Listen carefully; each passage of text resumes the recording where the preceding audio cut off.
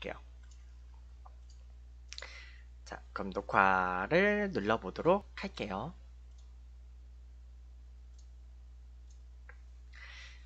지성이 여러분들 안녕하세요. 지식테이너 김승훈이에요. 자, 이번 주 사심역사 또 제가 주제를 준비를 해왔겠죠. 그래서 음 사실 요즘 상황이 상황이다 보니까 요즘 사심역사를 제가 주제를 뭘로 해야 되나 솔직히 좀 고민이 많았어요. 그리고 오늘은 제가 그 뭐냐 그 100주년 티셔츠 100주년 셔츠를 입은 게 아니고 제가 좀 다른 셔츠를 입었어요. 오늘 제가 그 선정한 주제에서 좀 약간 막판에 언급할 수 있는 약간 그런 사람들이거든. 자, 그래서 자, 오늘 선택한 주제가 뭐냐면요. 바로 네. 역사를 바꾼 의사들. 네, 의사들.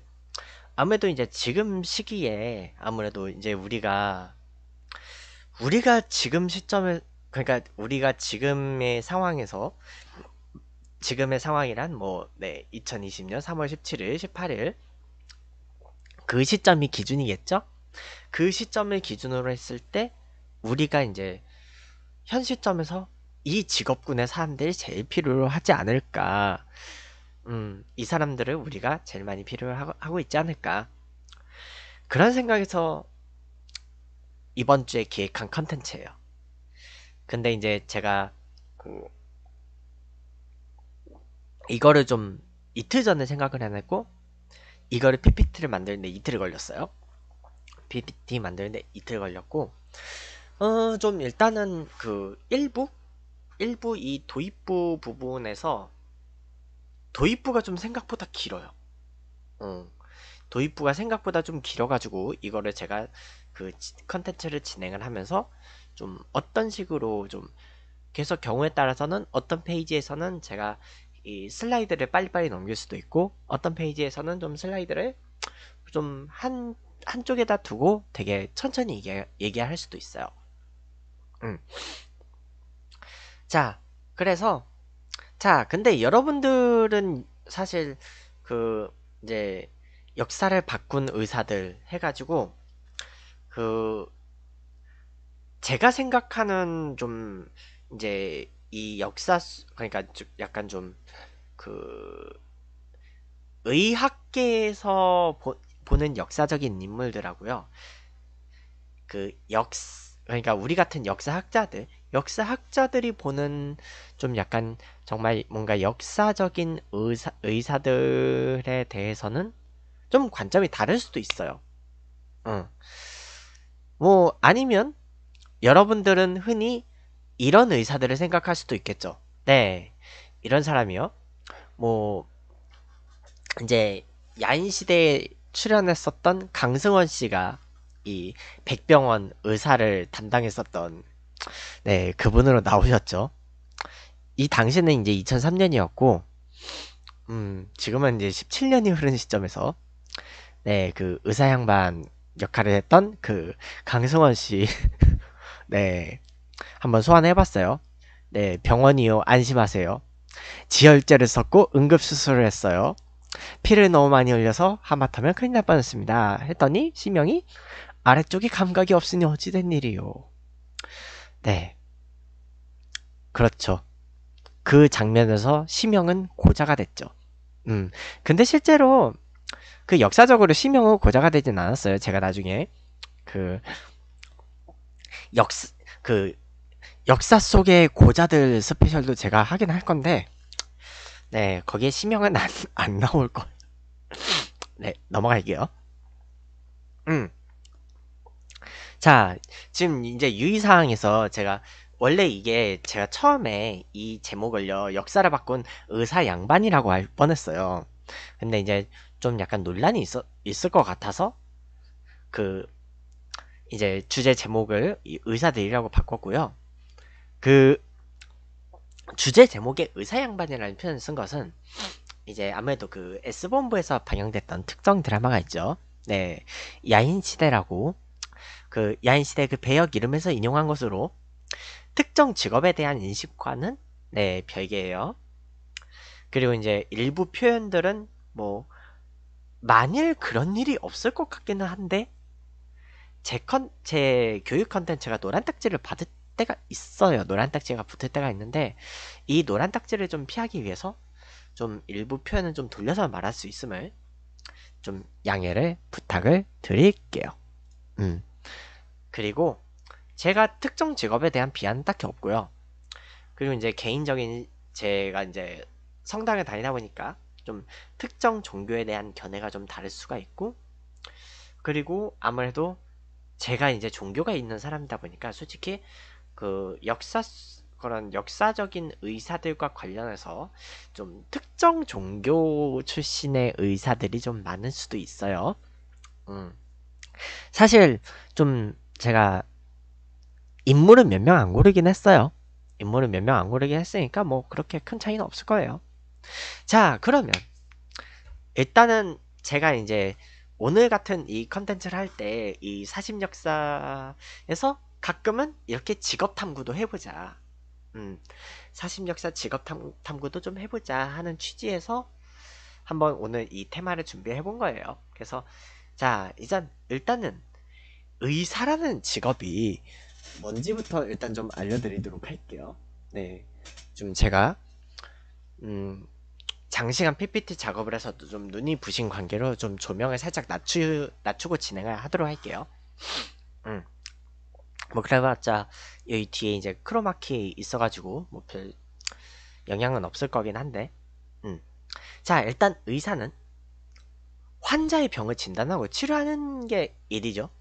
음, 그게 직업인 사람들이고요. 이 의사라는 직업은 국가에서 면허를 인정을 해야지 활동을 할 수 있어요.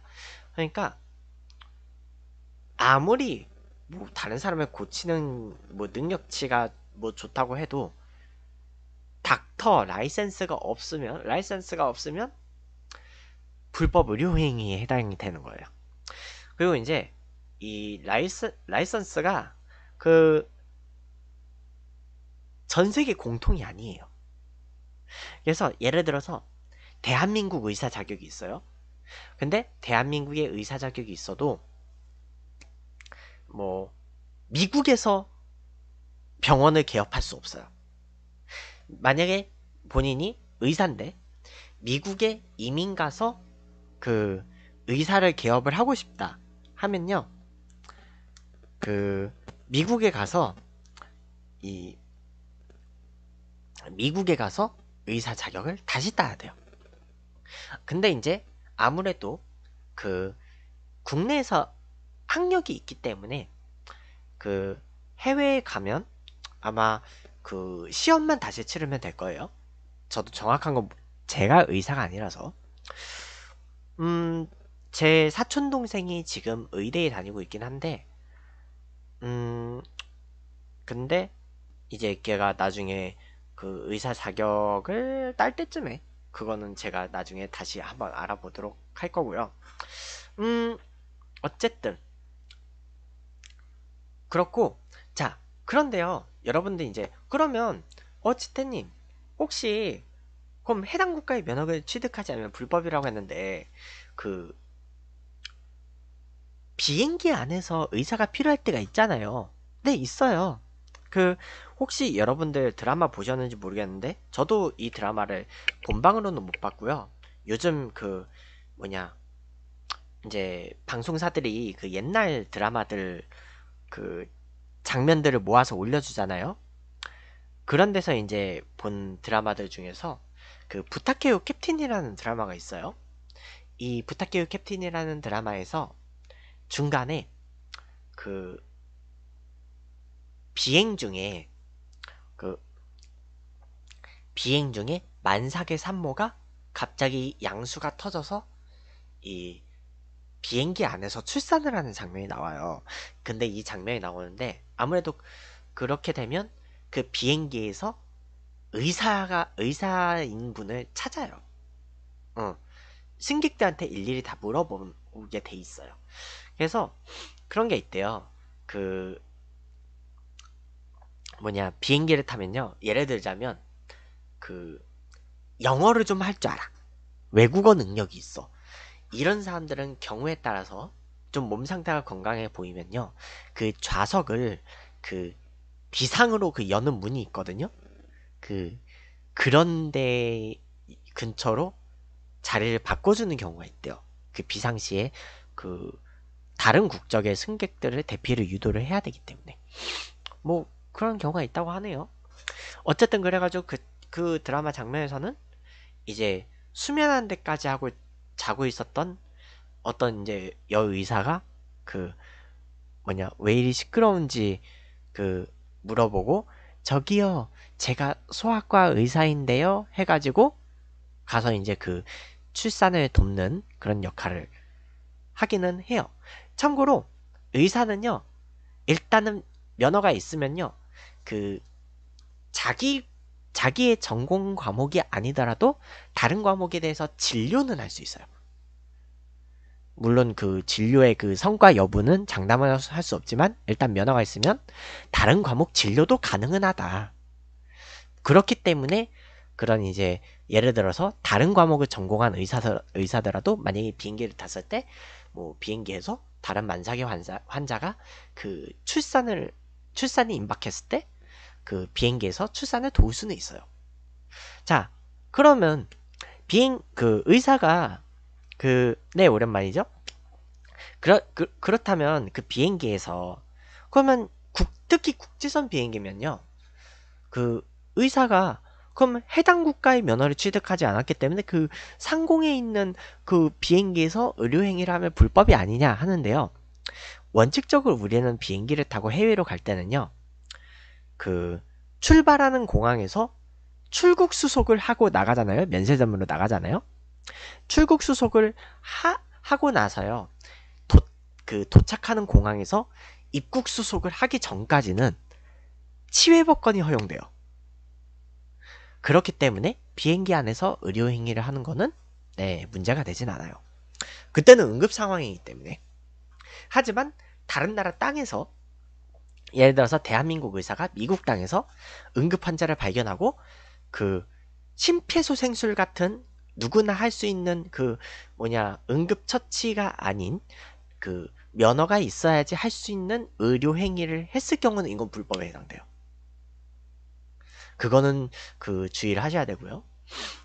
어쨌든 그 시대별 국가별로 명칭과 역할의 차이가 있어요. 보통 의사를 영어로는 이 박사를 뜻하기도 하는 닥터라고 부르죠. 음. 그리고요. 현재 대한민국 의료법에서는 의사하고 한의사하고 치과의사하고 수의사하고 직업군이 다 달라요. 음. 자격도 따로 나와요. 그러니까 음, 기본적으로 다른 과목 진료는 할 수 있어요. 의사들은. 근데 한의사, 치과의사, 수의사는요. 특정 과목 전문이에요. 음. 근데 다른 나라에서는 솔직히 모르겠는데 대한민국에서는요. 이 의사라는 직업군이 이과 계열 상위권 학생들한테는 어, 지망 1위 직업군이에요. 이과 계열 중에서도 상위권 학생들. 아무래도. 그러니까 대한민국이 현재 기초과학 분야에 대한 지원이 사실 의학 쪽 지원보다 안 좋은 건 사실이에요. 그리고 솔직히 이런 기초과학 분야에서는요, 임원급 연구원들 중에서도 임원급이거나 아니면 대학의 교수가 아닌 이상 그 이공계 분야, 기초과학 이공계 분야에서 의사의 수익을 앞지를 수 있는 이공계 직업이 없어요, 우리나라는. 음. 그렇다 보니 그래서 이과생들의 이과생들 중에서 반에서 1, 2등 하는 애들한테 어 어디 가고 싶 어느 과 가고 싶어 하면 어디 의대 가고 싶다 뭐 이런 얘기들을 많이 할 거예요. 하지만 의대를 가려면 기본적으로 수능에서 국어 영역, 수학 영 국어 영역, 수학 영역 가형, 그리고 영어 영역, 그 다음에 한국사 영역, 그리고 과학 탐구 영역까지 1등급은 기본으로 따야 되고요. 그리고 1등급을 따더라도 학교 내신 성적이 영 좋지가 않았다 하면 떨어질 가능성이 높아요. 그러니까 거의 반에서 1, 2등을 하더라도 의대를 가기가 힘들다. 음, 거의 아무리 못해도 반에서 1, 2등 실력은 유지를 해야지 그 어디 생각 어디 의대 생각하고 있다 뭐 이런 거를 좀 그 약간 물어볼 수 있을 정도 그, 저, 그, 그 정도로 취급되고 그리고 의대는요 그 다른 과는 솔직히 모르겠는데 의대는 서울이 아닌 지역의 의대도 1등급이 아니면 가기 힘들어요. 다른 지역도. 응. 다른 지역도 다른 지역에서 다 그 보통 의대 같은 경우는요. 대학 부속병원 출신이잖아요. 그래서 보통 그 대학의 의대를 마치면 뭐 전문의 자격을 따기 위해서 자기 학교 출신에서 계속 근무를 하는 경우가 많기 때문에 보통 그 가끔 예외도 있지만 그, 그 특정 특정 지역의 의대들은 그 지역 출신들이 많은 경우가 많아요. 그래서 보통 뭐 그 직업 그 지역에서 계속 먹고 살 사람들은 보통 그 지역 대학을 가잖아요. 어, 서울까지 안 오지. 음. 그렇다고 하고요. 그래서 보통 그 이제 우리나라 교육의 특성상 그 좀 다른 지역, 다른 지역에서는 다른 지역의 사립대학들 중에서 진짜 유명한 대학은 몇 군데 없어요. 대표적으로 저기 그 원광대학교가 익산에 있거든요. 근데 익산 익산에 있는 원광대학교가 유명한 이유는 재단이 원불교라서 그래요. 그리고 그 뭐냐 조선대학교가 광주에 있죠. 그래서 유명한 것도 있고 어쨌든 가끔 지방에 있는 사립대들도 꽤 유명한 학교도 있어요. 근데 지방 사립대들도 보통 한 3등급은 나와야지 가죠. 3등급은 나와야지 2등급, 3등급 나, 나와야지 지방의 유명 사립대 갈 수 있고 지방의 유명 국립대도 한 2등급은 나와야지 가고 음. 국립대들은 좀 세요.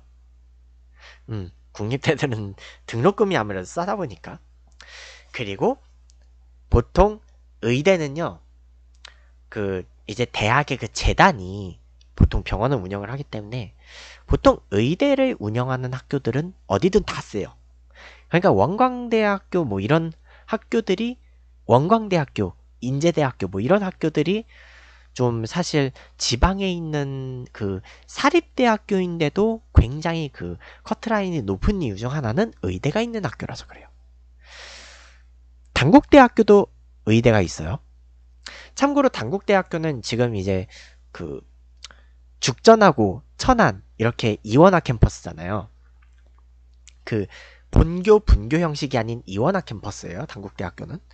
그래서 단국대학교 같은 경우는 의과대학, 치과대학, 약학대학, 간호대학이 모두 천안에 있어요.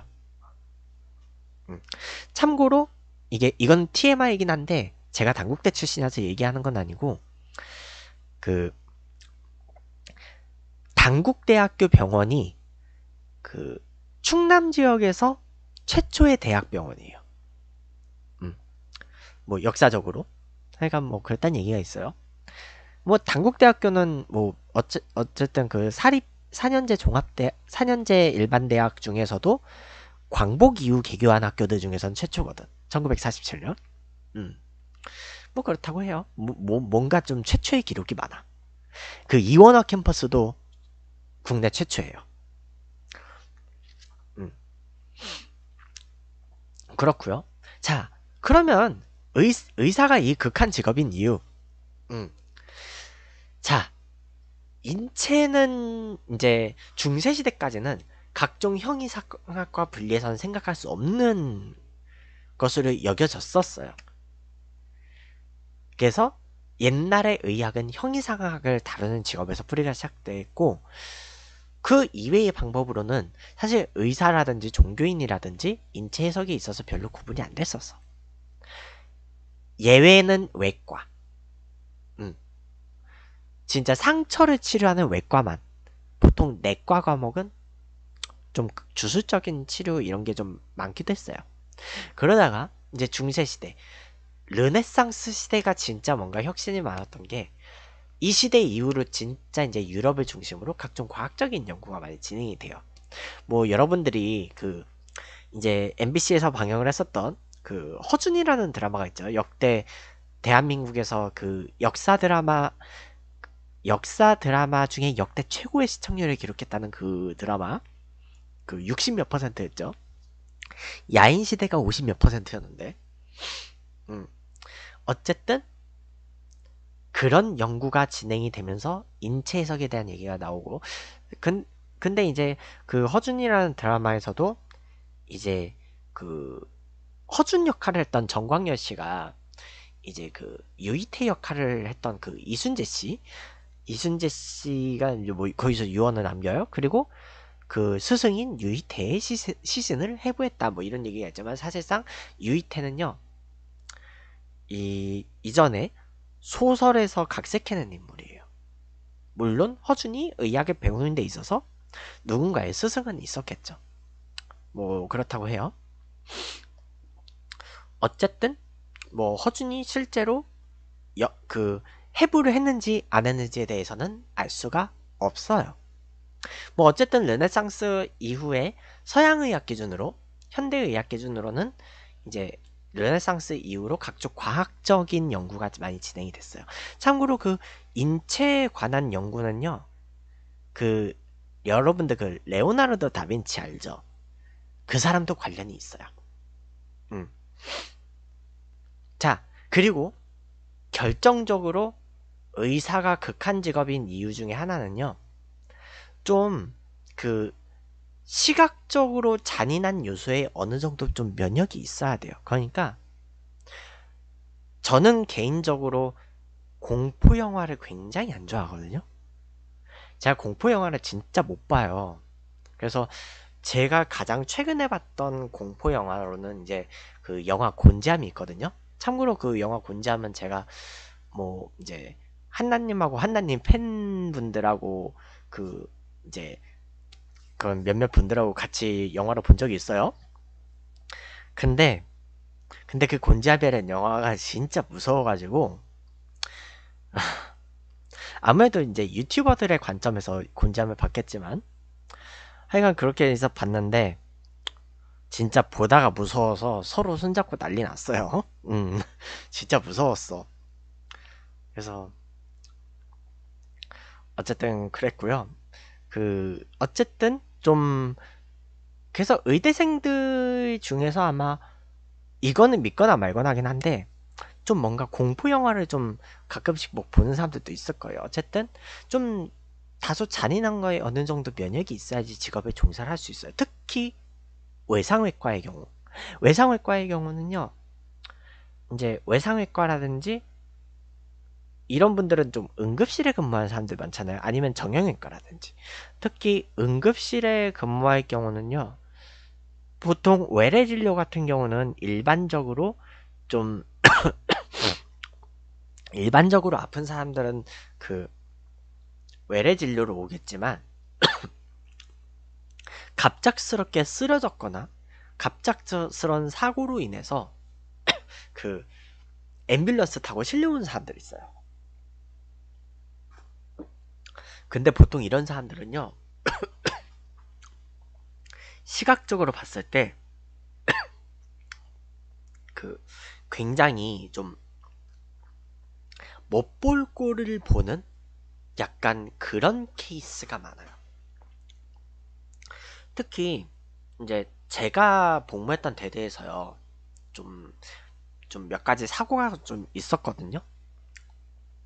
그건 좀 사고가 있었다 보니까 이제 대대 의무병들이 의무 대기를 하잖아요. 그래서 이제 나중에 의무병들한테 물어보면요. 되게 좀 생각하기 싫어하더라고. 아, 물론 고참한테 물어본 건 아니고 후임병한테 물어봤어요. 음. 왜냐면 내가 이제 상병 짬 먹고 나서부터는 의무병들이 다 후임이어가지고 음, 그럴 수가 있었고요. 그, 그 다음에 이제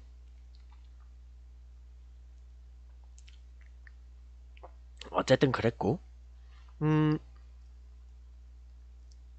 그렇다 보니까 좀 의대 실습 과정부터가 좀 환자들도 많이 접하고 수술실 실습도 봐요. 근데 이제 이 의대생들이 실습을 하는 과정에서요. 그 출산 과정에서도 솔직히 실습생들이 보긴 하거든요. 근데 그냥 진짜 뒤에서 봐요. 응. 뒤에서 보다 보니까 아무래도 그 산모나 산모 산모의 입장에서는 되게 좀 그 제왕절개면 모르겠지만 그 자연분만 과정에서는 좀 그 이제 음부가 노출이 되잖아요. 아무래도 그 음부를 통해서 아기가 태어나니까. 근데 이제 그 진짜 그 분만을 담당하는 의사나 그 간호사들한테도 되게 그 좀 자신의 그런 그 신체를 보이는 게 되게 수치스러울 텐데 하물며 실습생들이 보는 것도 물론 어느 정도 동의는 받아요. 대학병원에서는. 음. 대학병원에서는 동의를 받아요. 근데 이제 보통 대학병원에서 출산하는 경우보다는 아무래도 산부인과 같은 경우는 네 보통 다른 단위의 좀 병원들이 있는 경우가 많아요.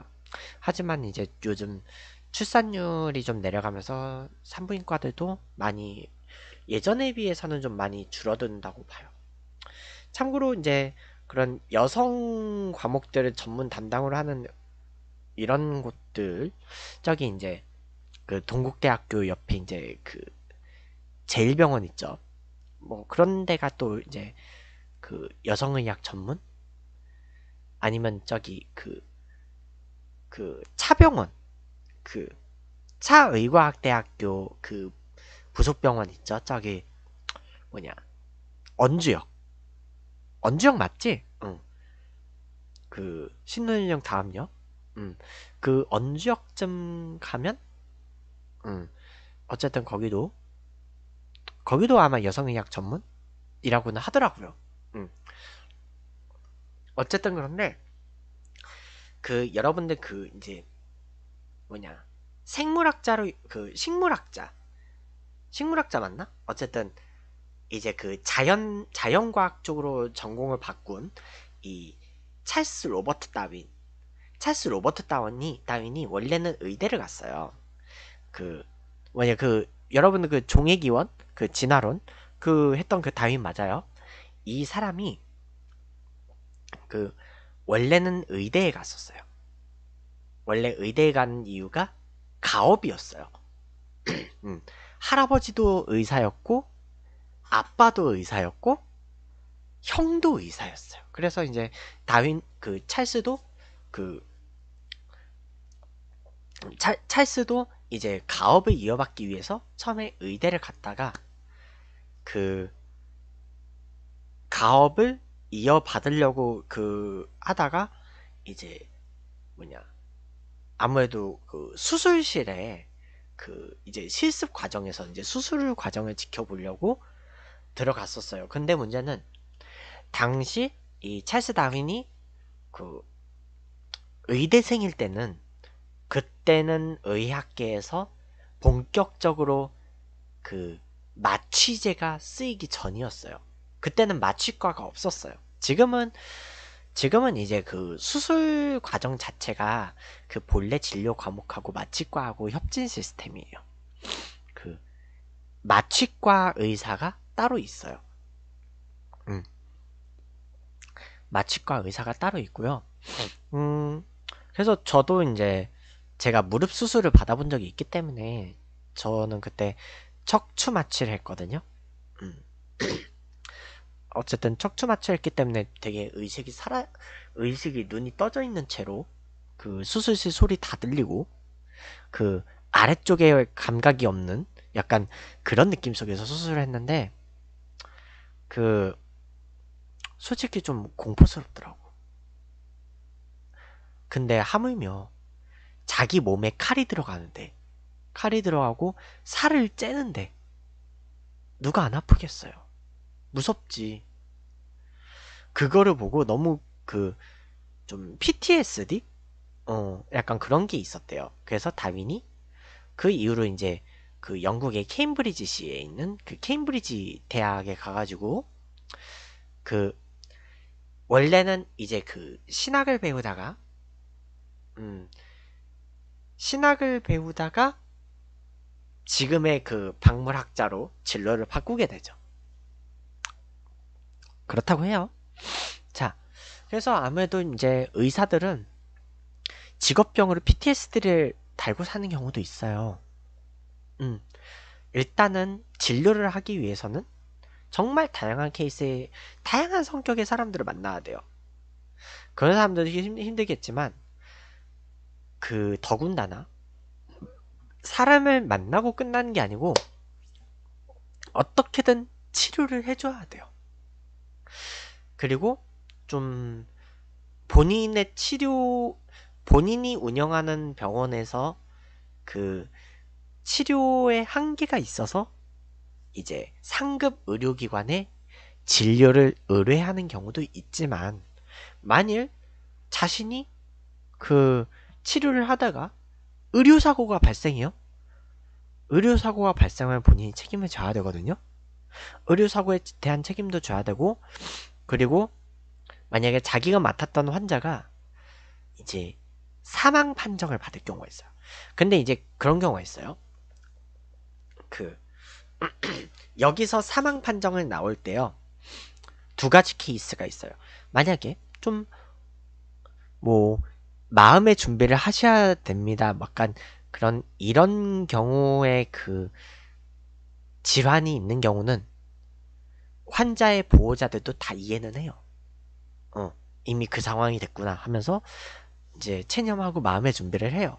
그런데 신해철 씨 같은 경우가 의료사고로 그 세상을 떠났잖아요. 신해철 씨 같은 경우가 이제 의료사고 케이스였는데 그렇게 의료사고가 발생하는 경우는 네. 더 이상의 자세한 과정을 생략하도록 하, 설명을 생략하고요. 그,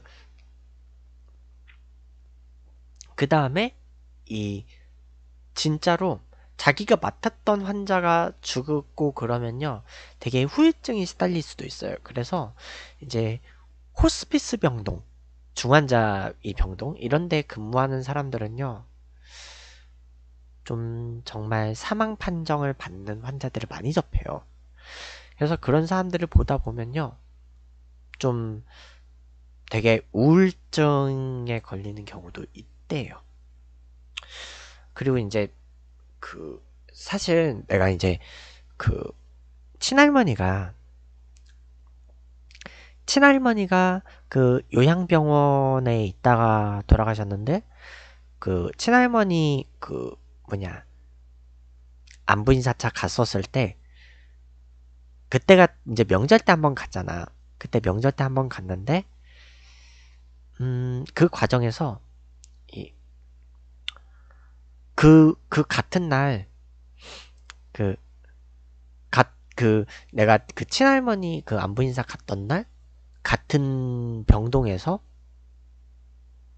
그, 한 분이 돌아가셔가지고 그, 나가는 장면이, 장, 모습을 본 거예요, 내가. 그때 그 모습을 봤는데, 진짜 막 유족들 아무 말도 못하고, 막, 근데 거기서는 막 소리내서 울지는 못하더라고.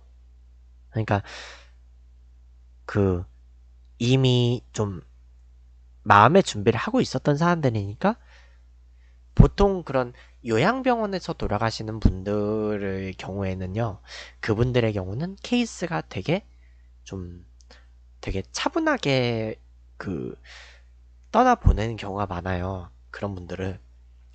우리 같은 경우도 친할머니 보낼 때는 솔직히 이제 우리 그 직계 사람들 중에서는 막 정말 막 오열하고 울고 막 그런 사람들은 없었어요. 다들 몇 년 전부터 이미 마음의 준비를 하던 사람들이었으니까. 음. 마음의 준비를 친할머니 같은 경우는 마음의 준비를 했다 보니까 그 되게 차분하게 그 친할머니 보내드렸는데 막막 이제 관 관 그 입관할 때 막 할머니 잘 가 막 이러면서 음 그리고 이제 그랬는데 이제 작년에 외할머니가 돌아가셨을 때는요 그땐 좀 충격이 좀 있었어요 그러니까 외할머니 같은 경우는 물론 이제 좀 그 달고 살던 지병들이 있긴 있었는데 그 그냥 집에서 심장마비로 간 거라서 아무래도 그렇게 갑작스럽게 갈 경우는 다들 충격이 있잖아요. 마음의 준비가 안 돼 있었잖아. 그래가지고 그래서 이제 친할머니 같은 경우는 이제 대낮에 가셔가지고 그 대낮에 가셔가지고 다들 그 오전 중에 조기 퇴근하고 그 오전 중에 조기 퇴근하고 그 갔고요. 그 다음에 이 그 오전 중에 조기 퇴근하고 갔고 그 뭐냐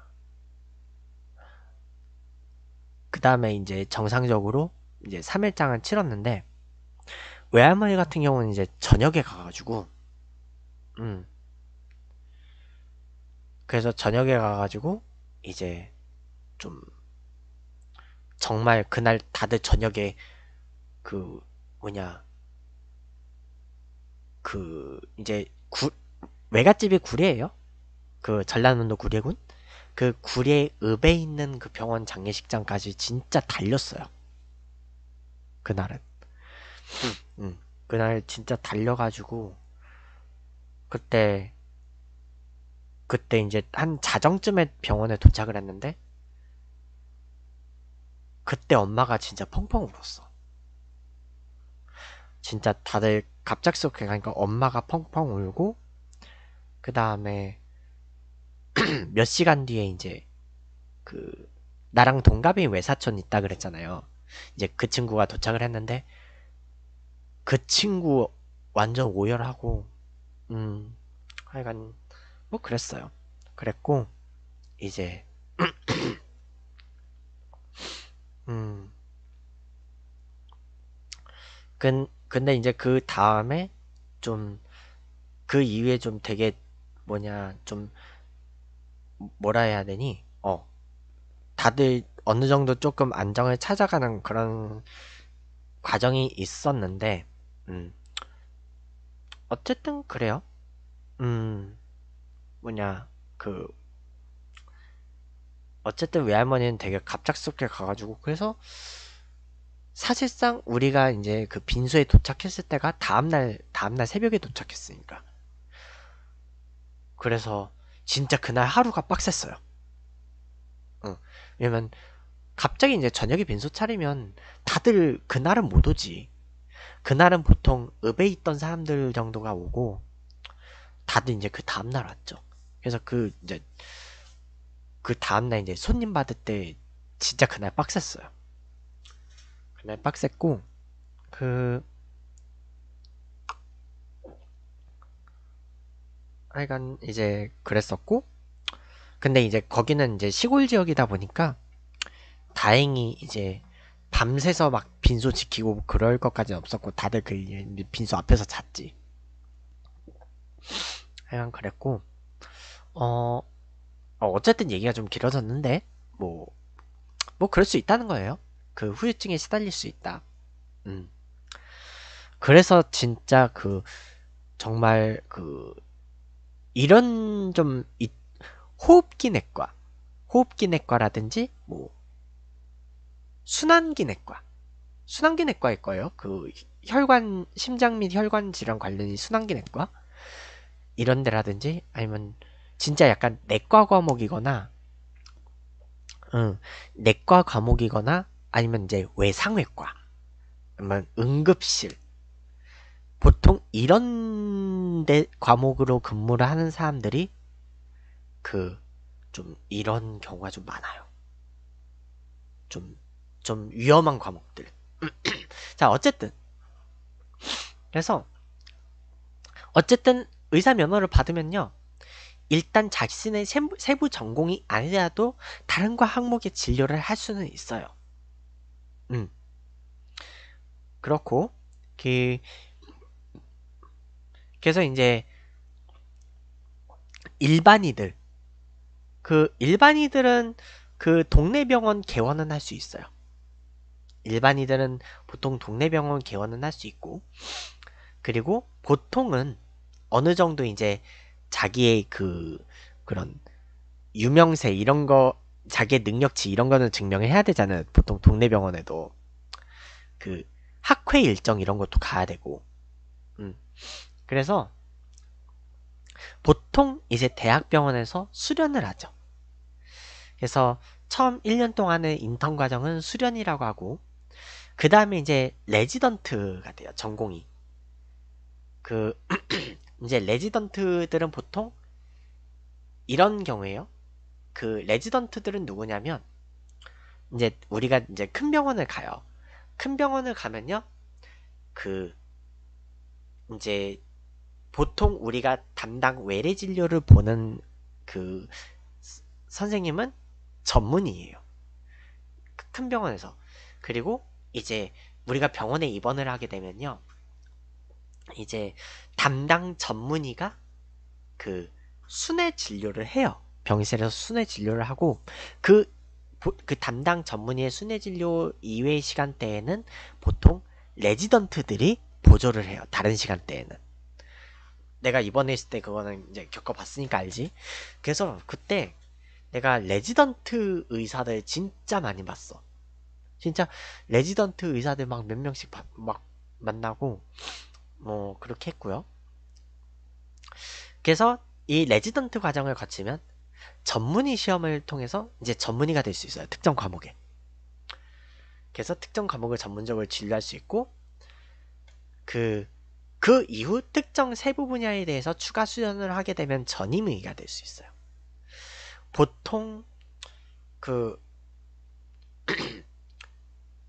그 그런데 자 그럼 이제 의사들이 보통 군복무를 일반적으로 하지는 않아요. 음. 그래서 의 의학과 관련된 군복무는 어떤 보, 그 역할 그 병과 및 보직 이런 게 있냐면요. 일단은 의무병 보직이 있어요. 의무병 군사특기 번호로는 4111 편제거든요. 군사특기 4111이 의무병이고 그 4114가 약제병. 음, 보통 대대 단위의 의무실에는요. 그 4111 의무병 보직 1명, 4114 약제병 보직이 1명. 이렇게 들어와요. 보통은 그렇고요. 그 그래서 이제 의무병들은 그렇게 들어가고 근데 내가 있던 대대가 그랬어요. 4111한 명, 4124한 명. 그리고 이제 의무 부사관 군사특기가 411 세 자리예요. 음. 그래서 의사 면허를 취득 그 취득하기 전에 보통 입대를 하는 병사들도 있어요. 왜냐면 보통 군의관보다는 군의관이나 의무 부사관보다는 의무병으로 입대하는 게 군복무가 짧거든. 육군 요즘 1년 몇 개월 하잖아요? 음. 그래서 일단은 그 제 후임병 중에서 약사 자격까지 딴 다음에 군대를 온 친구도 있었어요. 나보다 형이었어. 그래서 아무래도 이제 대학을 졸업한 다음에 왔다 보니까 나보다 한 살 형이 오더라고. 약사 면허증을 갖고 왔었어. 그래서 이 그래서 군사 특기가 바로 약제가 되더라고요. 음. 그래서 약제가 됐고 그 그래서 약제병 분류가 되고 그 의무병 중에 누구누구가 있었냐면요. 내 의무병 중에서 이제 선임병 선임병이 그 대학을 그 이제 그 사람이 걔가 이제 부산 출신이었거든. 음, 저녁 이후로 만난 적 없는데, 음, 어쨌든 걔가 이제 부산 출신이에요. 그 부산 출신인데 그 그래서 이제 대학을 부산에서 다니다가 군대로 온 거야. 근데 걔가 전공이 안경 쪽이었어. 전공이 안경 쪽이다 보니까 그래서 군사 특기가 의무병이 된 거야. 어. 실제로 그 군대에서요, 그 방독면 안경 막 이런 거 관련 그 업무도 의무병이 해요. 근데 이제 우리는 흔히 이제 아무래도 그 스타크래프트에서 그 테란의 그 유닛으로 인해서 우리는 보통 의무병들을 메딕이라고 부르죠. 실제로 의무병의 영어는 메딕이 맞아요. 음. 그래서 이제 아무래도 그 메, 메딕이라는 명사가 그 유명을 해지니까 음. 그렇게 됐고 음. 그래서 꼭 의대를 안 가더라도요. 약간 그 의학 아니면 보건 아니면 이제 생활 약간 생활의학 응. 가정의학 뭐 이런 거 관련 전공자들 그러니까 안경 쪽 전공을 하거나 안과잖아 안경 쪽을 전공하거나 뭐 아니면 치위생과 뭐 이런 거 각종 보건 계열 뭐 이런 거 관련을 전공한 남자들도 보통 의무병으로 분류될 확률이 높아요. 근데 요즘은 이제 남자들도 그 간호대를 다니고 하지만 그 그래서 남자들 중에서도 간호장교 가는 사람들 있어요. 내가 군병원에서 내가 진짜 남자 간호장교 한 진짜 본 적 있어요. 거의 맨날 봤어. 남자 간호장교가 있었어. 음. 정형외과 병동 담당에 남자 간호장교가 있었고 이 되게 신기했어요. 남자 간호장교가 있었던 게 그렇고 이 그 다음에 그 뭐냐 어쨌든 되게 신기했고요. 그 군병원 가면요. 군병원에 가면 보통 그 뭐냐 본부 근무대가 있고 후송 중대가 있어요. 본부 근무대하고 후송 중대가 있는데 그 이제 병원을 운영하는 기관병들이죠. 그래서 군병원에 군병원 운영하는 기관병들 당연히 각종 여러 보직들 많아요. 경계 경계 근무하는 보직들도 있고 뭐 취사병들 당연히 있고 그리고 그 행정병들도 당연히 있고 그런데 보통 이 아무래도 군병원에서는 의무병 보직인 사람들이 제일 많아요. 그리고 이제 군병원의 의무병들은요. 그 3교대예요. 그 군병원의 간호장교들도 3교대거든요. 간호장교들 3교대고 의무병도 3교대예요. 아무래도 음, 의무병도 3교대 근무를 해요. 그래서 그 주, 보통 주간 근무를 하면 그 한 아침 8시 일과 시작하는 시간에 출근을 해가지고 한 그 중간에 점심시간 빼고 한 5시까지 5시까지 일과 보고 퇴근하는 의무병들이 주간병이고 그 주간 주간 그 일과고 이제 전반야하고 후반야가 있어요. 이제 군대 용어로 전반야는 이제 전반야가 보통 이 전반야가 한 오후 4시, 5시, 한 오후 5시 아마 투입일 거야. 오후 5시에 투입해서 그 이제 야간이죠. 한 자정 한 자정 1시 한 그때쯤에 교대해요. 음, 한 자정 전으로 교대를 해요. 그, 그, 그 사람들이 전반이하고 보통 병원 용어로는 이제 뭐냐 주간 뭐 mid night 이런 근무가 있는데 그래서 이제 night 근무가 후반야고 night 근무들은 진짜 심야 시간에 투입돼 가지고 다음날 아침까지예요. 음. 후반야는 다음날 아침까지예요. 그래서 보통 전반야 그 의무병들은 전반야를 근무를 하게 되면요. 어차피 병사들 군, 군대에서는 그 경계 근무 이런 거 의무가 있거든요. 음. 의무가 있기 때문에 그 근무가 없더라도 근무 비번이기 때문에 그냥 그 사실상 근무를 해야 된다고 분류가 되고 그래서 전반야를 투입이 되면 그날 이제 전, 전반야에 투입이 되면 이, 그거죠. 그 뭐냐 밤에 한 두세 시간 정도 자는 시간이 줄어들겠지. 대신에 오전에 일과 투입을 안 하기 때문에 그, 그 사람들은 낮에 일과 투입을 안 하기 때문에 이제 낮에는 뭐 개인 정비를 할 시간이 있겠죠. 생활관에서 개인 정비를 할 시간이 있겠고 그 다음에 이제 후반야 투입을 하게 되면요. 그 후반야에 투입한 사람들은 다음날 아침에 복귀를 해가지고 이제 그 근무 취침을 할 수 있어요. 이제 한 몇 시간 정도 잘 시간을 줘요. 한 2시인가 3시인가 그때까지. 음. 어쨌든 뭐 그렇게 의무병들 군병원 의무병들은 3교대 근무를 해요. 음. 4교대인데도 있어요. 어쨌든 그 대학병원은 4교대인 경우도 있긴 한데 어쨌든 군병원 기준은 3교대. 자, 어쨌든 그렇고 그리고 이제 의무 부사관 각종 뭐 관련 분야 전공하고 부사관으로 입대한 사람들이 있고요. 음. 그리고 그 그다음에 이제 군의관. 군의관들은 보통 수련이 과정까지 하고 장교로 입대를 해요. 보통 수련이 과정까지 하고 장교로 가는 게 그 군의관들은 3년 복무기 때문에요. 그 이제 의사 경력 3년을 인정을 해줘요. 군의관들은 3년 복무예요. 단기 복무가 3년이고요.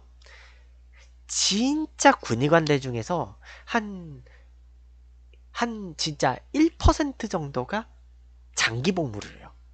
음. 그래서 이제 그런 경우가 있고요. 그래서 이제 군의관이 되는 방법. 당연히 의사 자격을 따야 되겠죠.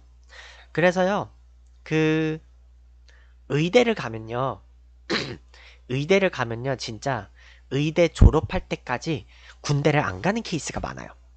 빡세게 다 그 수련위까지 간 다음에 그 다음에 군대를 가는 경우가 많아요. 근데 이제 그 보통 병사하고 부사관들은요 똑같이 훈련소로 입대를 해요. 그래서 그 부사관 후보생들은요 음, 그 만약에 병, 그 부사관이 되는 방법은 두 가지예요. 아니 세 가지. 어떻게 세 가지? 아니, 네 가지다. 부사관은 총 네 가지가 있는 게 이 아이의 입대부터 부사관으로 신청해서 합격해서 입대를 하는 경우가 있어요.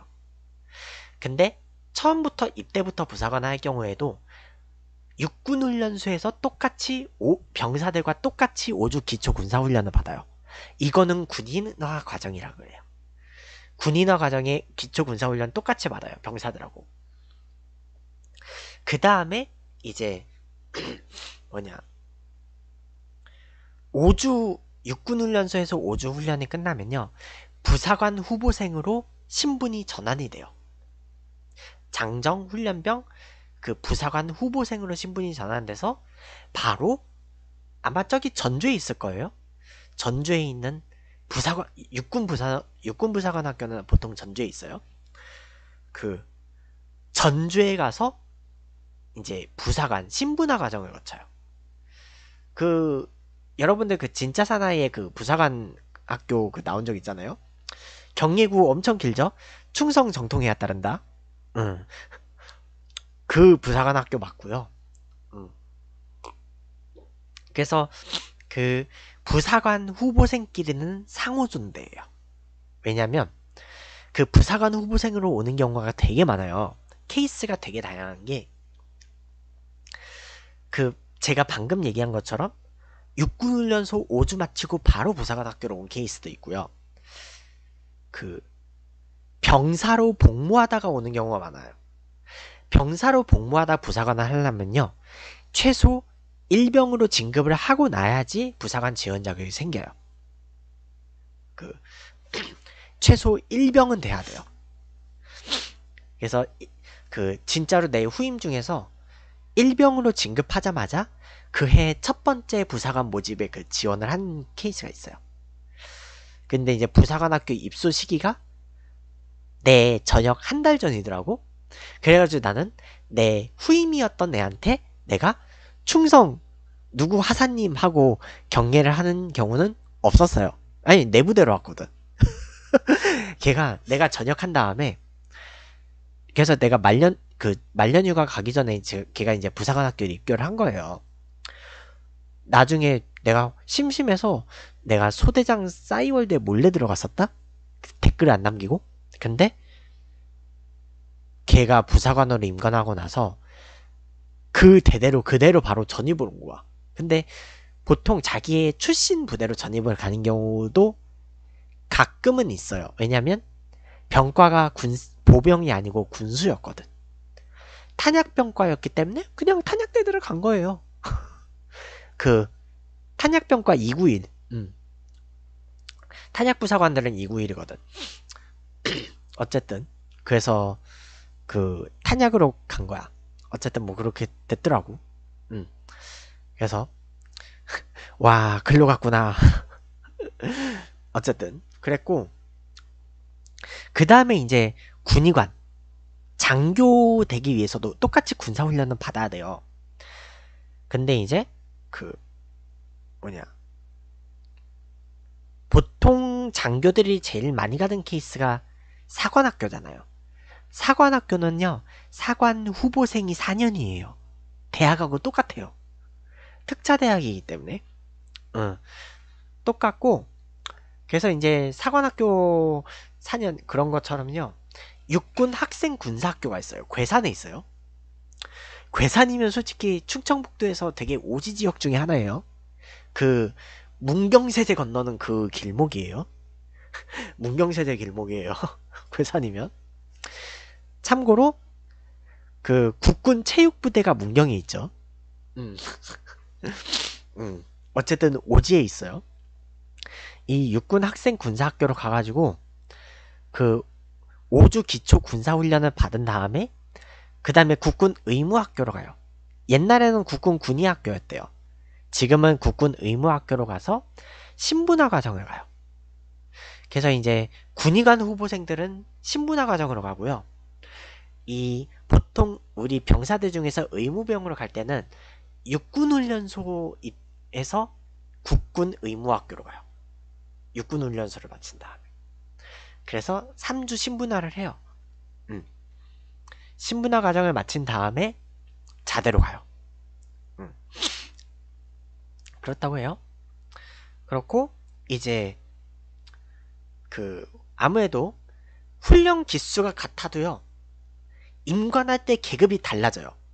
왜냐면 그 근데 부사관 같은 경우도 음 부사관 같은 경우도 되게 케이스가 많아요.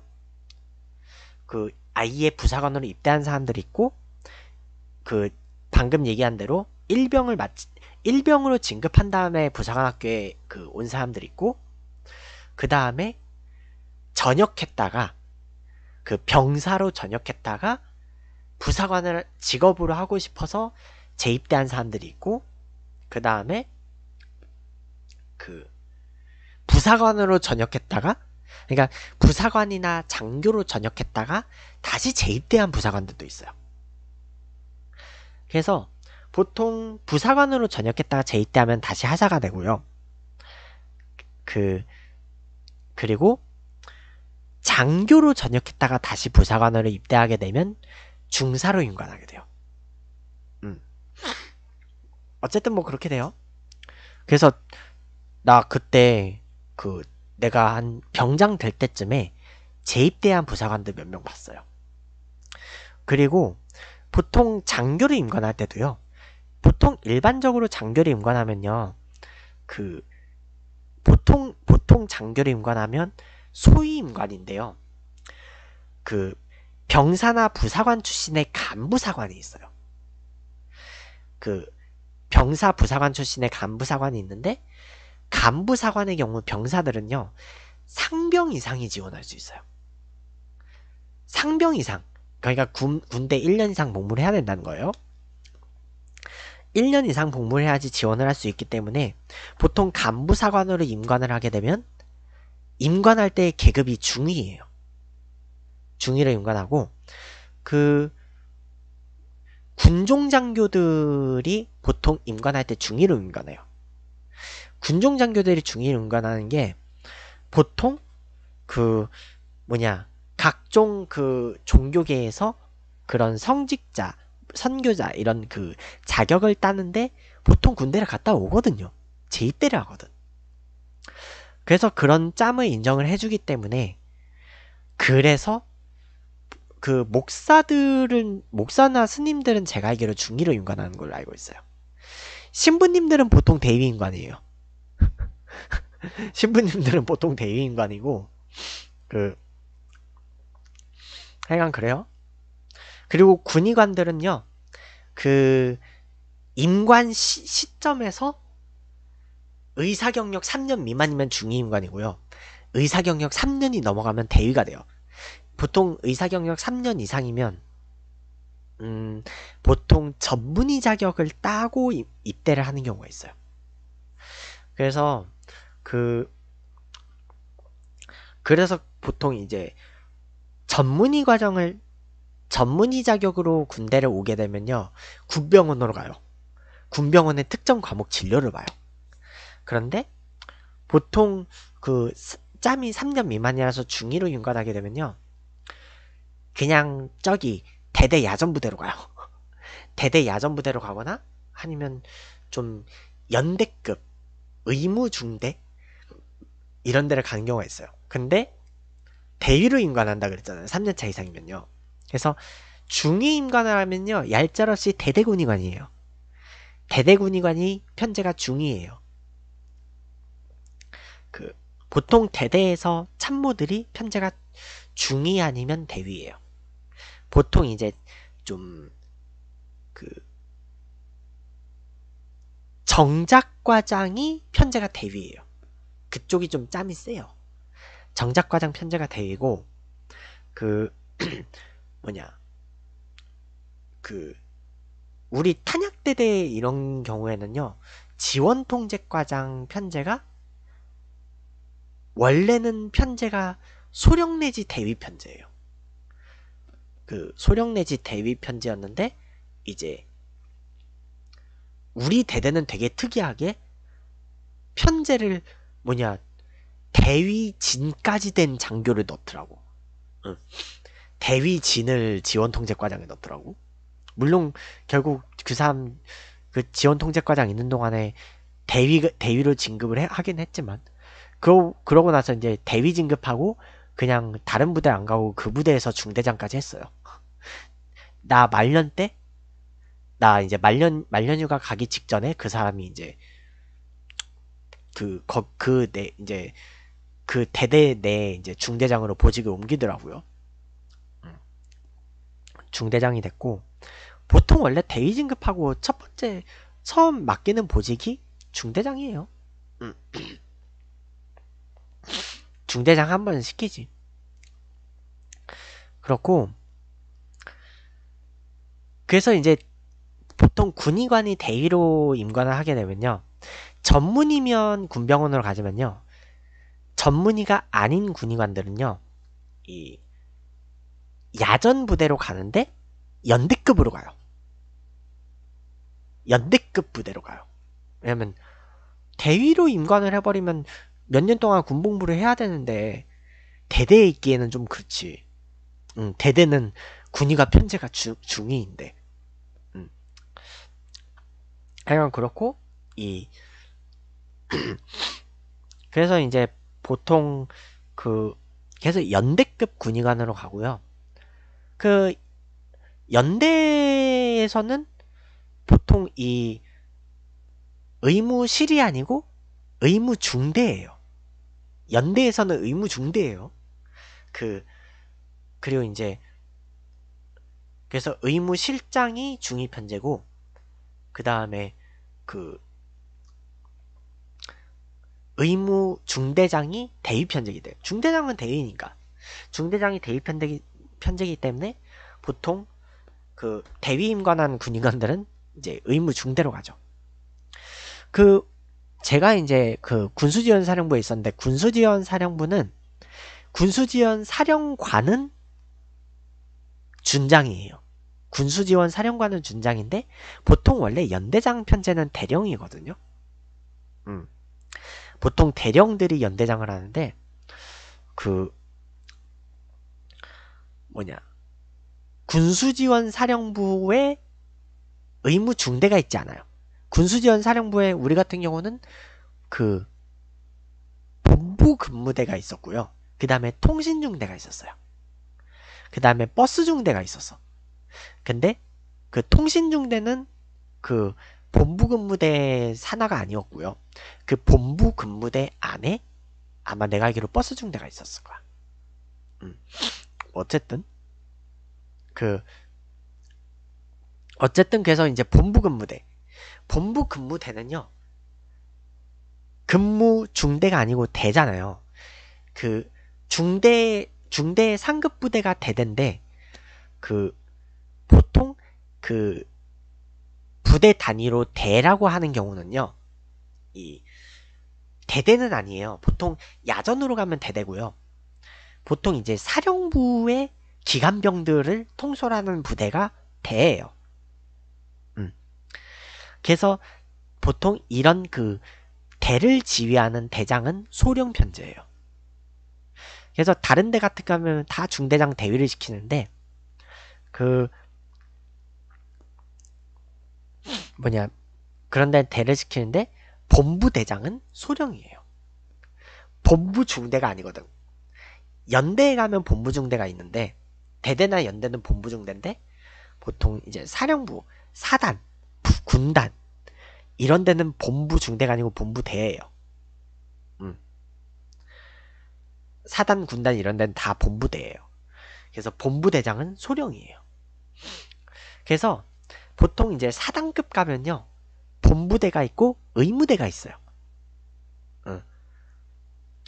그 본부 가면 그 사단 본부 가면 의무대가 있기 때문에 그래서 사단 의무대, 군단 의무대 이런 데가 있기 때문에 거기 가서 의무대장이 소령군이거든요. 근데 보통 그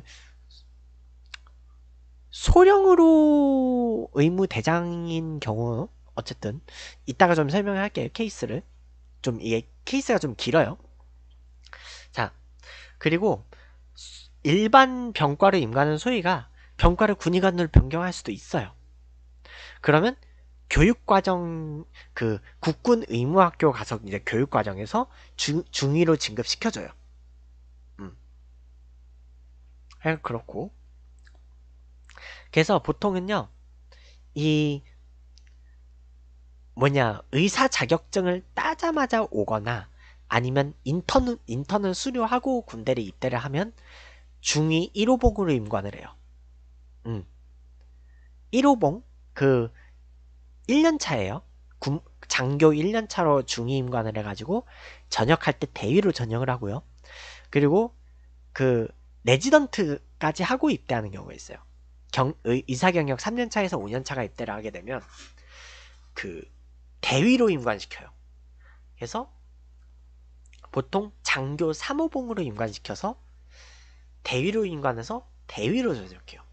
보통 이런 레지던트까지 하고 온 군의관들이 보통 연대급 군의관으로 가요.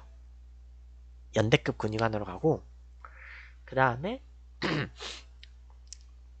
그 이제 경력 7년 이상 하고 온 그 의사들이 가끔 있어요. 보통 이 사람들은 전문의 석사 이상은 따고 온 사람들이에요. 아니면 전임의사거나. 이런 사람들은 그 장교 5호봉을 임관을 시켜줘요. 대위, 대위로 임관을 시켜줘가지고 단기 근무로 전역을 할 경우는 소령으로 전역을 해요. 그래서 이 사람들은 소령으로 전역을 하기 때문에 가끔 사단 의무대장을 가는 경우가 있어요. 음. 그리고 이제 보통 경력 9년까지 하고 입대하면 바로 소령이 될 수는 있는데 그 우리나라에서 병역 연기가 가능한 기간이 한계가 있어요. 그래서 실제로는 보통 그 보통 중위로 임관해서 대위로 전역하는 군의관들이 굉장히 많아요. 아니면 이제 그 전문의 그 레지던트까지 하고 오면요. 보통 대위 3호봉으로 임관을 해가지고 그 저기 뭐냐 군병원 전문의로 가요. 군병원 전문의로 가가지고 그 경력을 쌓는 경우도 많아요. 보통 이런 사람들은 그래서 실제로 소령으로 입대하는 경우는 별로 거의 없어요. 그 우리나라 그 병역 영예가 가능한 기간이 있고 보통 우리가 그 의대를 정말 제 고3 때 재수를 안 하고 의대로 바로 와가지고 휴학 없이 진짜 막 그런 경력을 쫙쭉쭉쭉 쌓고 입대를 하면 가능을 하긴 해요. 보통 막 생일 빠른 뭐 이런 경우가 있었어. 근데 요즘은 그런 경우 거의 없죠. 빠른 없어졌기 때문에. 그리고 중위군의관들이 전역 3개월 전에 대위를 달아주기는 하는데 요즘 진급 잘 안 시켜줘요. 그리고 근데 이제 우리 대대 같은 경우는 보통 말령 군의관들이 말, 말령 군의관들이 1년 채우려고 오는 경우가 많더라고. 우리 대대는. 진짜 말령 군의관들이 그 1년 채우려고 왔다가 그 그냥 1년 채우고 전역하더라고요. 보통 군의관들이 4월 말 5월 초 그때 전역해요. 그렇고 이제 그 보통 군의관 군의관 장교 출신 예비역들은요. 그 만 40세가 되기 전까지요. 당 전역 당시 계급의 계급 정년까지는 동원 운영 편성이에요. 민방위 편성이 되게 늦어요. 어. 장교 출신들은. 그래서 그 뭐냐 우리 병사 출신 예비역들은요. 그 예비역 4년차까지는 동원 훈련을 가고 그 다음부터는 그냥 지역 예비군 훈련 그 하루 단위로 몇 번 나눠서 가는 걸로 그 나눠 편성이 되잖아요. 음. 그래서 사실 군대를 빨리 갔다 오고 최대한 그 복학해서 시간을 좀 많이 끌면 학교 예비군으로 시간을 다 끌 수 있어요. 학교 예비군으로. 학교 예비군은 하루면 되거든. 음. 나는 학교 예비군은 한 번밖에 못 갔거든. 그렇고요. 근데 간부로 전역하면요.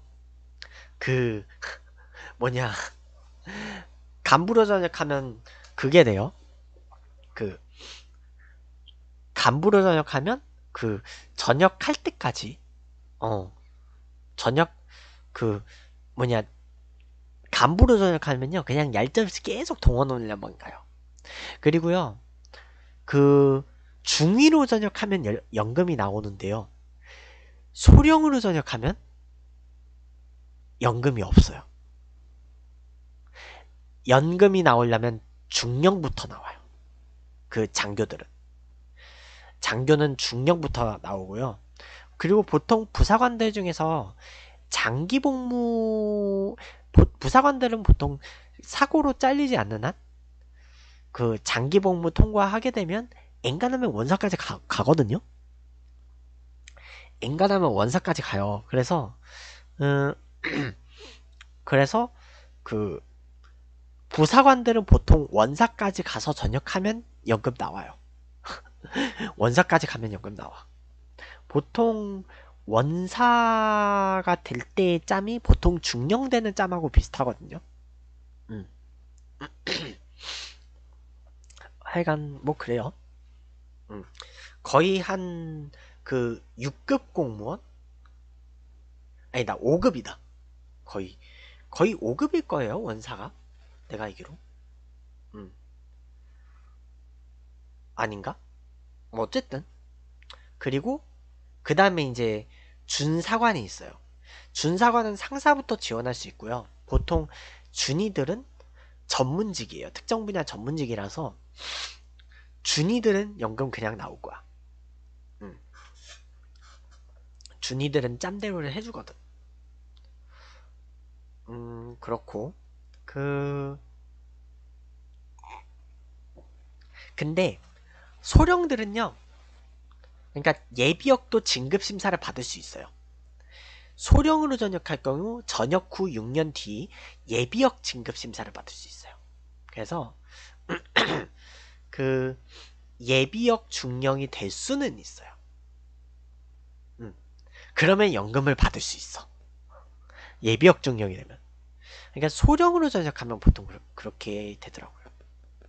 음. 자, 그렇고 그 그리고 이제 제가 복무했던 육군 기준으로 대대 의무실장이 중위편제고 연대 의무중대장이나 군병원 전문의가 대위편제 상급분대 의무근무대장 아니면 군병원 과장이 소령편제예요. 그 군병원 부장은 중령 편제예요. 음. 군병원 부장이 중령 편제고 보통 군병원에서 중령까지 간 군병원에서 장기 복무하는 경우가 별로 없어요. 그리고 군병원장은 대령 편제예요. 음. 군병원은 연대급이에요. 군병원은 그 연대급이라서 이제 편제가 대령이에요. 편제가 대령이고 제가 군병원에 입원해 있을 때는요. 그 대령이 외래 진료를 봤어요. 병원장이 병원장이 왜 외래 진료 봤냐면요. 이 병원장이 정형외과 출신이었거든. 정형외과 출신이다 보니까 그 군병원이 정형외과가 제일 빡센 거 알죠? 군병원은 정형외과가 제일 빡세가지고 그 그 군병원은 정형외과 수요가 제일 많아요. 그래서 아무래도 만약에 자기가 그 의사인데 군의관으로 좀 경력을 쌓고 싶다 하면요. 그 정형외과는 정말 군대에서 경력 쌓기 딱 좋아요. 정형외과 전문의는. 군대가 아무래도 정형외과 부상자들이 많기 때문에. 음. 그래서 진짜 이건 약간 우스갯소리로 이런, 이런 얘기를 하는데요. 그, 군의관, 군의관에서, 군의관으로 저, 정형외과 전문의로 그 경력을 쌓, 군의관을 쌓고 나가면요. 그, 다른 건 모르겠고, 그, 전방 십자인대와 관련해서는 전문가가 돼서 나가요. 진짜로. 진짜 정형외과 전문의들은요. 군의관을 하게 되면 십자인대 부분에서는 저, 진짜 이 케이스 저 케이스 다 보고 나가요. 그 군병원에서 보통 그 무릎 수술 제일 많은 케이스가 십자인대거든. 그래서 그 뭐냐 우리가 이제 군병원에 입원해 해가지고 그 이제 한번 물어봐요. 신 그 신참 환자들한테 아저씨 아저씨는 요즘은 아저씨라는 칭호 거의 금지가 됐는데 요즘도 쓰나 모르겠어. 응. 근데 이제 그럼 이제 아무래도 서로 다른 부대 출신들이다 보니까 환자들끼리는 선우임 관계가 없잖아요. 환자들끼리는 선우임 대우를 안 해요. 그래서 환자들끼리는 보통 누구 환자 누구 환자 이렇게 칭호를 쓰거든요.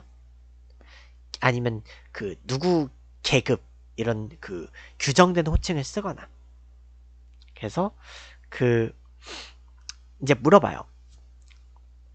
저기 누구 씨는 누구 누구 씨 또는 아니면 그 누구 환자는 어디 아파서 왔어요? 하면 만약에 십자인데요. 십자인데 다쳐서 왔다 하면 그 다음 두 번째 질문이 뭐예요? 뭐 하다가 십자인데 끊어졌어요? 축구하다가요. 거의 보통 군대에서 십자인대 끊어져서 그 군병원에서 수술받고 의무조사 받고 그 의무조사위원회에서 심사받고 전역하는 사, 케이스의 거의 대부분은 그 체육 활동 중에 축구하다가 십자인대 끊어져서 입원해요. 그래서 군대 할 때, 군대에서 축구할 때 조심해야 된다는 거예요. 응. 그, 하여간 뭐 그렇다는 우스갯소리가 있어요. 실제로 그 진짜 내가 군병원에 입원했을 때 그 병동에 정형외과 병동에요. 그 딱 진짜 병장까지 군복무 열심히 했다가 축구하다가 십자인대 끊어져 가지고 수술 받고 전역한 애 있어요. 이름도 되게 특이했어. 이름이 카리스마였어. 성씨는 따로 있었고요. 어쨌든 이름이 카리스마였는데 병장까지 병장까지 힘들게 날았는데 십자인대 끊어져서 수술받고 전역해. 뭐 그럴 수 있다는 거예요. 어쨌든 그렇고요. 자, 그 다음에 군에서 필요한 전문의, 과별 인원 및 일반이 필요 인원을 뽑아요, 보통. 음. 그리고 나머지 인원이 필요하면요, 공중보건의를 뽑아요. 근데 이제 아무래도 군대에서는요, 과목별 수요가 굉장히 달라요. 그래서 보통 소아과 의사들은 공중보건의로 나가요. 왜냐면 군병원에서는 보통 소아과가 필요가 없어요. 군병원은 거의 성인 환자들만 오기 때문에 소아과를 많이 가고요. 소아과는 고, 거의 다 공중보건에 가고요. 그리고 정형외과 의사들은 그 짬이 안 돼도 군의관 가는 경우가 많아요. 음, 얘기했잖아요. 군대에서는 정형외과 수요가 제일 많다고. 그래서 공중보건의는 대체복무 고, 공무원이에요. 공익이에요. 사회복무요원이에요. 음. 공무원 인정해줘요. 대체복무 공무원이에요. 그 병사 대체복무 요원이 아니에요. 음. 그런데요. 근데 이제 보통 치과 의사 군의관들은요. 짬이 좀 세요. 왜냐면 치과 의사로 군의관을 가려면요. 전문의 자격증이 있어야 돼요. 왜냐면 치과, 한의, 한의, 한의과, 그리고 수의과, 이런 데는요, 그, 약간 정말 특수 과목이기 때문에 보통 전문의까지 따거든. 음.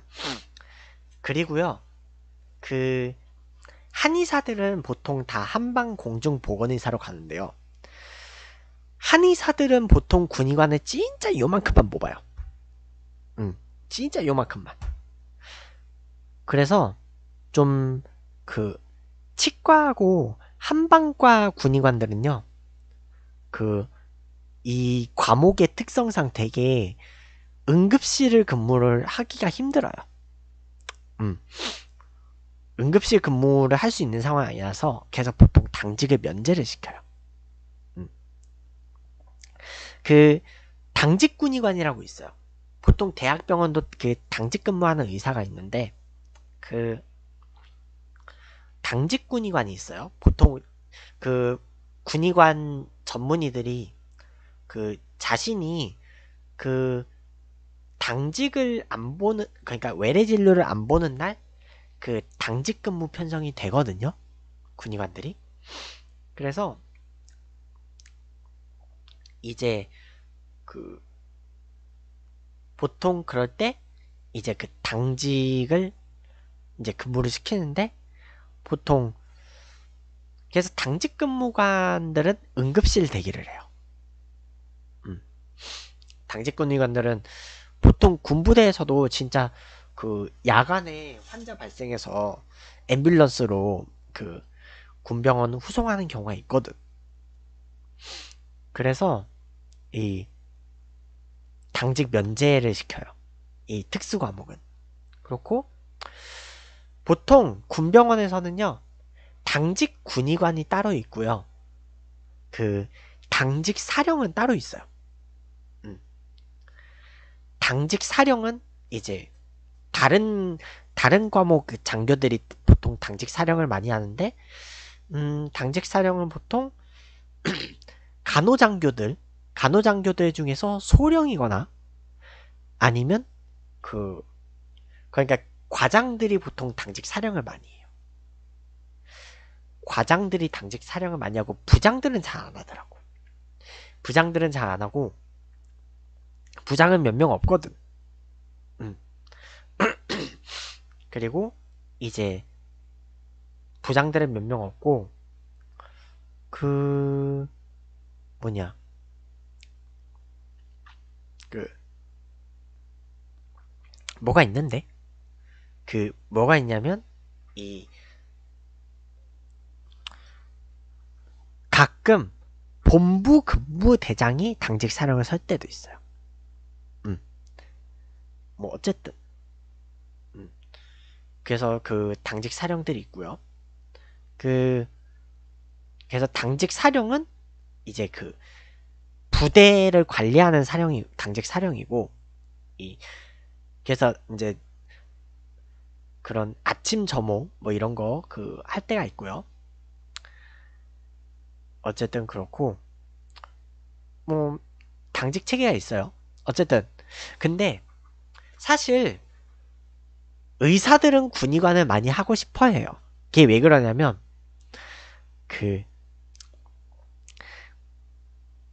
그 군대도 군기지만 정말 그 우리나라는요 그 몇몇 직업 체계들 뭐 예술책 예술 예술계 체육계 아니면 뭐 의료계 진짜 과별로요 진짜 똥군기가 세요 진짜 의사들 진짜 똥군기 of 똥군기예요 그 여러분들 드라마 그 하얀 거탑 봤잖아요 그 하얀 거탑에서 진짜 막 똥군기 얘기 나오잖아. 음. 그래가지고 진짜 군의관은 3년 쉬는 시간이야. 보, 근데 이 군의관들한테 3년 쉬는 시간이라 여겨지는 거는요. 보통 대대나 연대급에 복, 복무하는 군의관들 기준이고요. 그 군병원 가는 전문의들은요.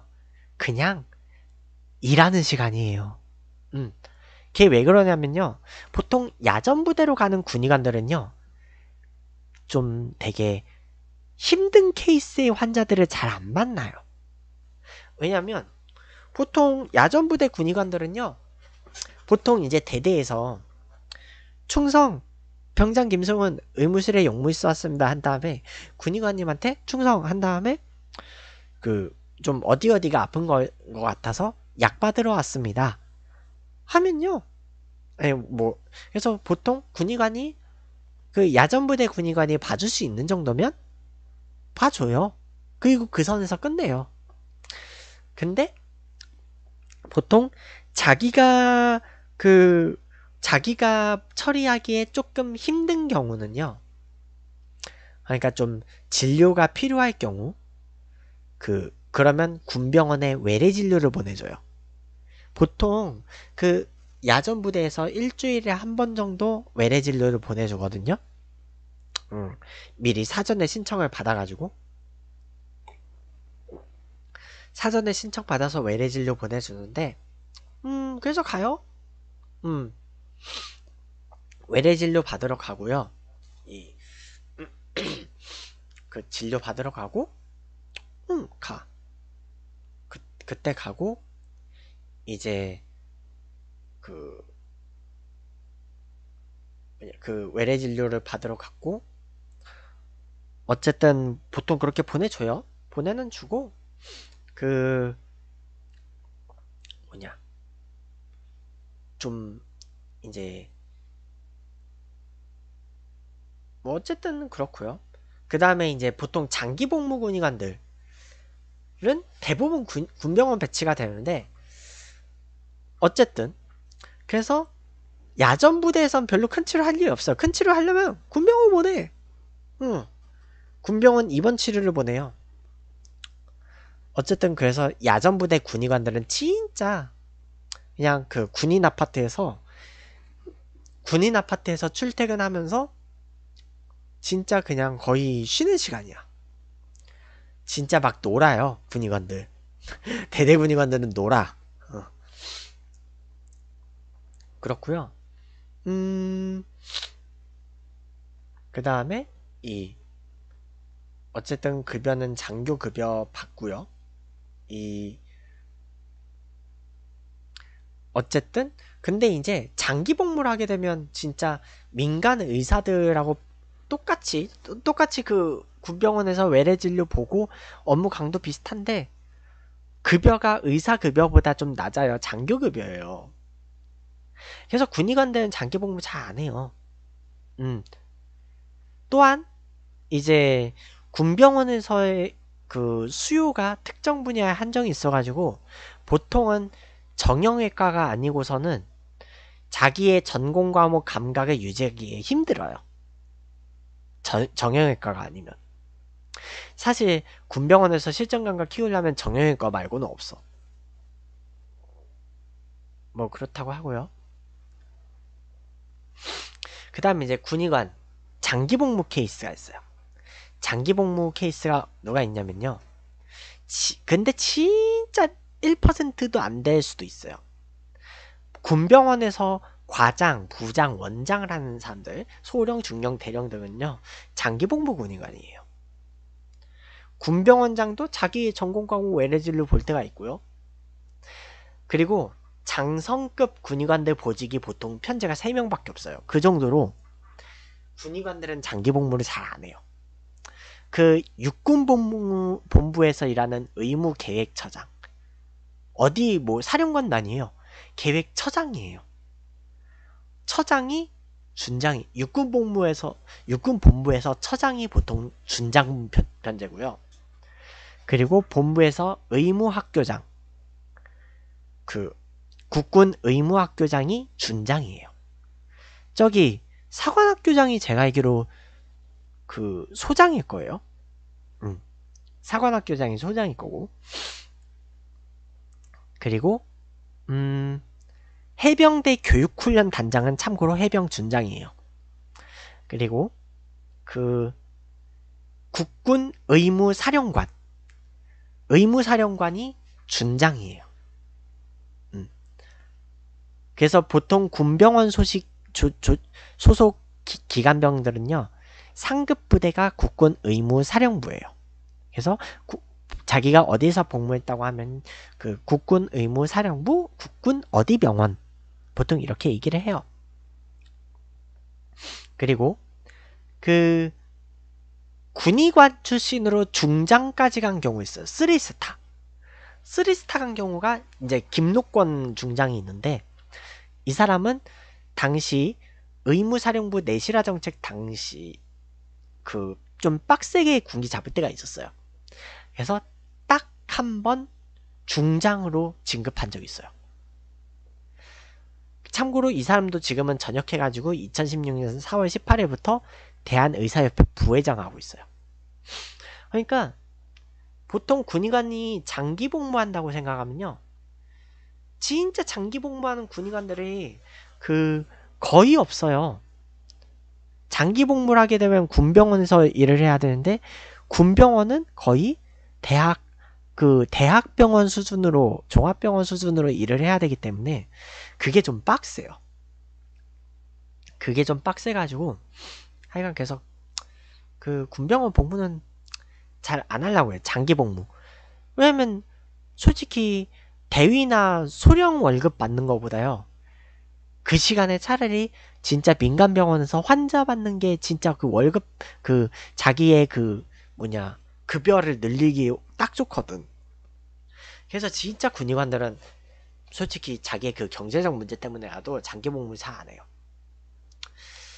하여간 그렇고 그래서 진짜로 장기 복무하는 군의관들이 거의 없다 보니까요. 진급은 잘 돼요. 그리고 이제 군병원 특성상요. 군병원의 산부인과 전공자들은 거의 안 와요. 음. 산부인과 전공자들은 거의 안 와가지고 그 여군들은요. 여군이나 여자 군무원들은요. 보통 군병원 이용 잘 안 해요. 음. 그래서 여군이 출산한다고 하면요. 여군들은 보통 민간병원 가요. 민간병원 가서 출산해요. 여군들은. 그 출산휴가 써가지고. 뭐 그렇다고 해요. 자, 그래서 군의관 출신의 주요 인물들. 일단은 정치, 현재 정치 활동을 하고 있는 안철수 씨가 해군 대위 출신이에요. 해군 대위 출신이고 그 뭐냐 보통 이제 자기가 원래 의사로 일하다가 그 백신 개발해가지고 그 백신 연구소 그 컴퓨터 백신 개발해가지고 그쪽 연구소로 있다가 그 V3 만들고 안, 안랩 안랩에서 그 벤처 사업으로 그 성공해가지고 지금도 최대 주주예요 안랩에 지금도 최대 최대 주주고 그 어쨌든 자기 수익은 아직 꽤 있는 편이고 그래서 그 다음에 어 그래서 이제 안철수 씨 같은 경우는 지금도 의사 자격을 갖고 있어요. 왜냐면 또 의사들이 자격을 유지하려면 그 현역 의사들은 학회 활동을 하거든요. 연구 활동들을 해요. 그 학회 활동을 하고 그 안철 그 뭐냐 안철수 씨 같은 경우는 의사 자격 유, 유지를 위해서 그 시험을 봐요. 어쨌든 그래서 의사 자격을 유지하고 있었어. 그래서 이번에 안철수 씨는 의사여가지고 이번에 대구 가서 부부 동반으로 의료봉사하고 왔잖아요. 그러고요. 그, 그 다음에 지금은 그, 저기, 그, 외상, 경기 외상센터장 그 물러난 그 이국종 박사가 있죠. 이국종 박사는 해군 일병으로 전역을 했어요. 그러니까 그때는 의무병으로 복무를 안 하고 갑판병으로 복무를 했어요. 갑판병으로 그 이제 복무를 했고 갑판병이면 보통 저기 배 위에서 일해요. 음. 그러다가 이제 의사 외상외과 의사가 된 다음에 저기 그 아덴만 그 석혜균 선, 선장 그 응급수술을 한 이후 거기서 이제 그 명, 그 해군에서 명예 해군 대위를 그 장교 임관을 시켜줬어요. 그래서 그 이후 이제 이국, 이국종 박사는 이제 계속 명예 해군 그 명예 해군 중에서는 처음으로 진급을 해가지고 지금은 명, 명예 해군 중령이에요. 그래서 경례받아요. 어. 이국종 박사는 경례받고요. 그 어쨌든 중령이에요. 그리고 이제 지금 그 이태석 유한세례자 신부님 현재는 고인인데 이분도 그 군의관으로 복무했어요. 그 군대 군종장교로 복무한 게 아니고 이분은 군의관으로 복무를 했어요. 왜냐면 이분은 의 그 의대 먼저 나온 다음에 그 이제 아무래도 일반적으로 신학교에 갈 수 있는 연령은 안 돼가지고 그 살레시오 수도회를 입회를 해가지고 수도회를 거쳐서 이 수사 자격으로 그 신학교를 다, 그 입학해가지고 그 수도사제로 서품을 받은 분이에요. 교구 소속이 아니에요, 이분은. 이분은 교구 소속이 아니고 수도사제로 서품을 받았기 때문에 음. 어쨌든 그래서 수도의 신부님 출신이에요. 어쨌든 그렇다고 해요. 음. 자, 일반이하고 전문의 그럼 어떻게 구분을 하느냐? 자, 일단은 의사 면허가 있으면요. 의, 진료 과목에 대한 법적 제한은 없어요. 법적 제한이 없어. 그리고 실제 진료가 가능한지는 의사 개인이 해당 과목에 대해서 수련을 했느냐? 아니면 그 과목에 대해서 어느 정도 실력이 있느냐? 그거를 봐요. 음.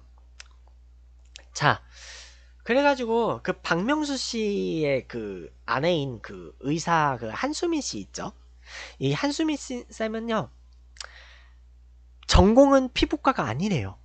그런데 일반의 출신으로 그 피부과에서 수련 이력이 있어가지고 지금은 저기 우리 동네 근처에서 그 뭐냐 그 피부과 운영해요.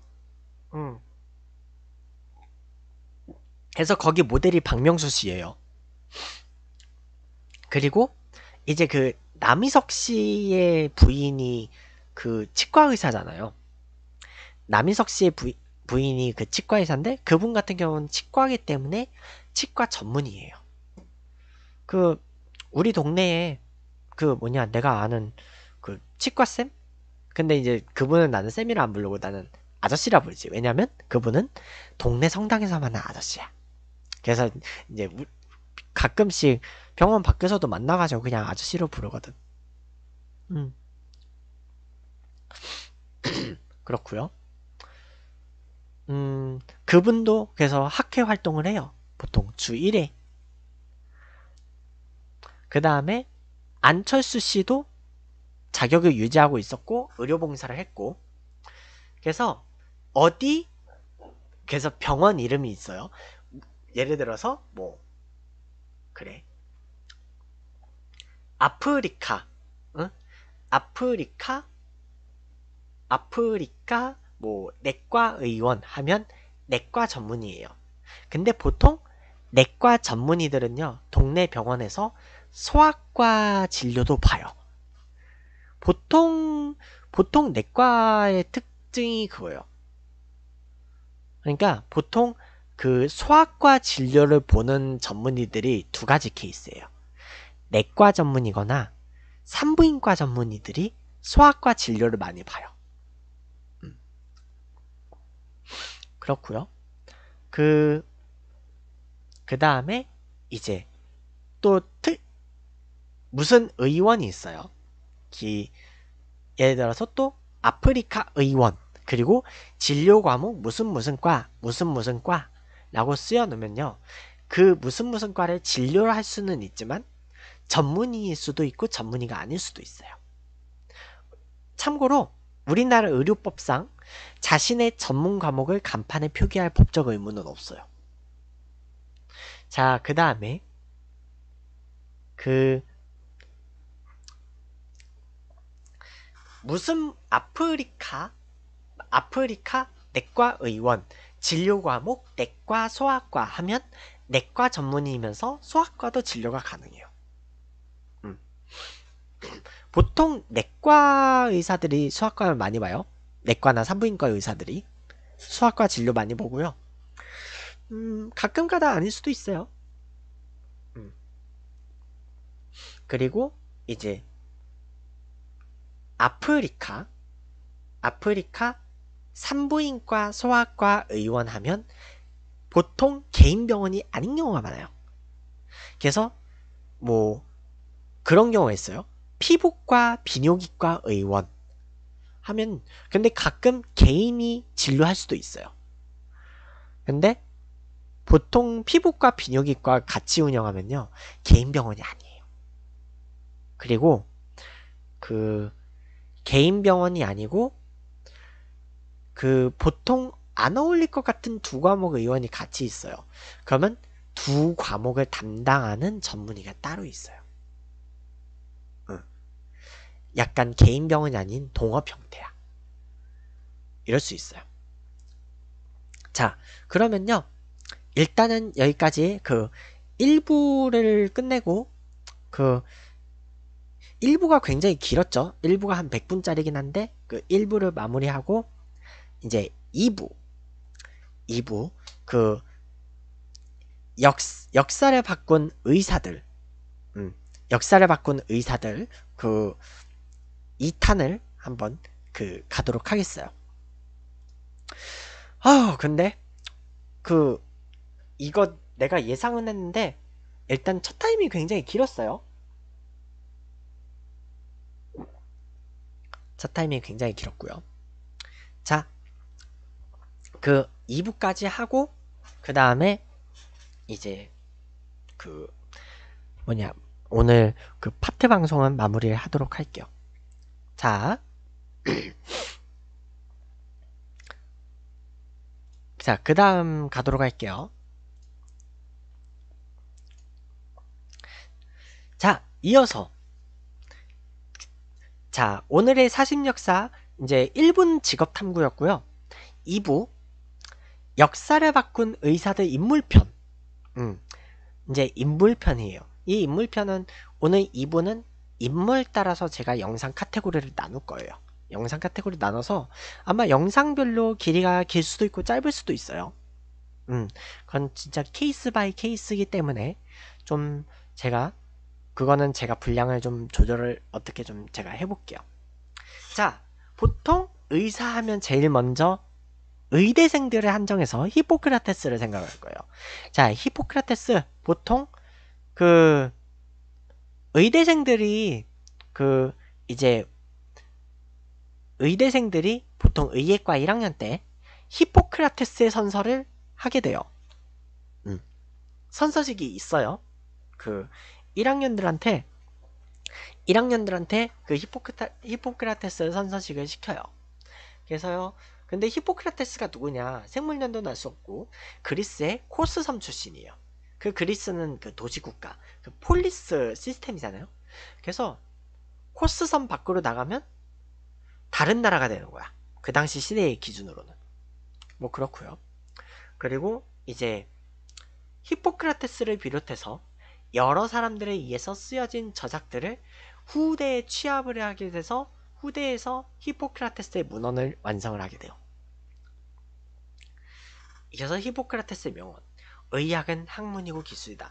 Medicine is a science and an art. 뭐, 뭐 그렇다는 얘기가 있어요. 그리고 히포크라테스의 당시는요, 자기가 환자들을 좀 머리가 다쳐서 온 환자들이 좀 많았나 봐요. 그래서인지 모르겠는데 감정, 생각, 기쁨, 고통이 다 뇌에서 생겨난다고 주장을 해요. 하지만 생각은 뇌 뇌에서 생기겠죠. 고통은 신체의 모든 곳에서 생겨나겠고 기쁨은 보통 기쁨은 보통 뇌에서 생길 수도 있고 이 마음, 허, 하트에서 생길 수도 있어요. 근데 나는 감정은 뇌에서 생길 수도 있지만 감정은 가슴에서 생겨난다고 생각을 해요. 음.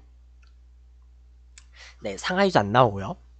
네, 방금 이 1편이 끝났고 이제 2부 1부 1부 직업 탐구가 끝났고 이제 2부 인물편이 나오고 있는 거예요. 자, 인생은 짧고 예술은 길다. 라는 말로 알려져 있지만 이건 오역이고요. 보통 좀 정확한 번역은 기술은 길고 인생은 짧고 기회는 빨리 지나가고 경험은 불안전하고 판단은 어렵다. 이렇게 얘기했어요. 영어로 번역을 하면 The art is long, life is short, opportunity is fleeting, experiment is uncertain, judgment is difficult. 네, 이렇게 발음이 될 때가 있어요. 음, 백병호 원장. 네, 솔직히 아까 도입부에 왔으면 알겠는데 짤은 있어요. 음. 짤은 있어요. 음. 자, 어쨌든 그래서 히포크라테스는 솔직히 더 이상 언급할 게 없어요. 언급할 게 없고 그래서 히포크라테스 하면 좀 또 추가로 설명할 게 바로 이 히포크라테스의 선서가 있죠. 음.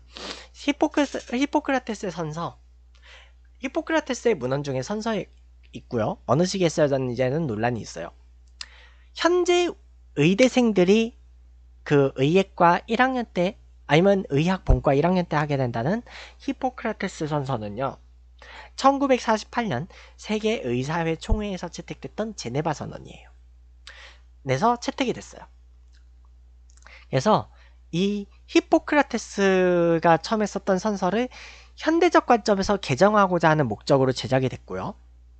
그래서 히포크라테스의 선서와 관련해서는 여러분들이 그 좀 선서문 굳이 여러분들이 찾아보세요.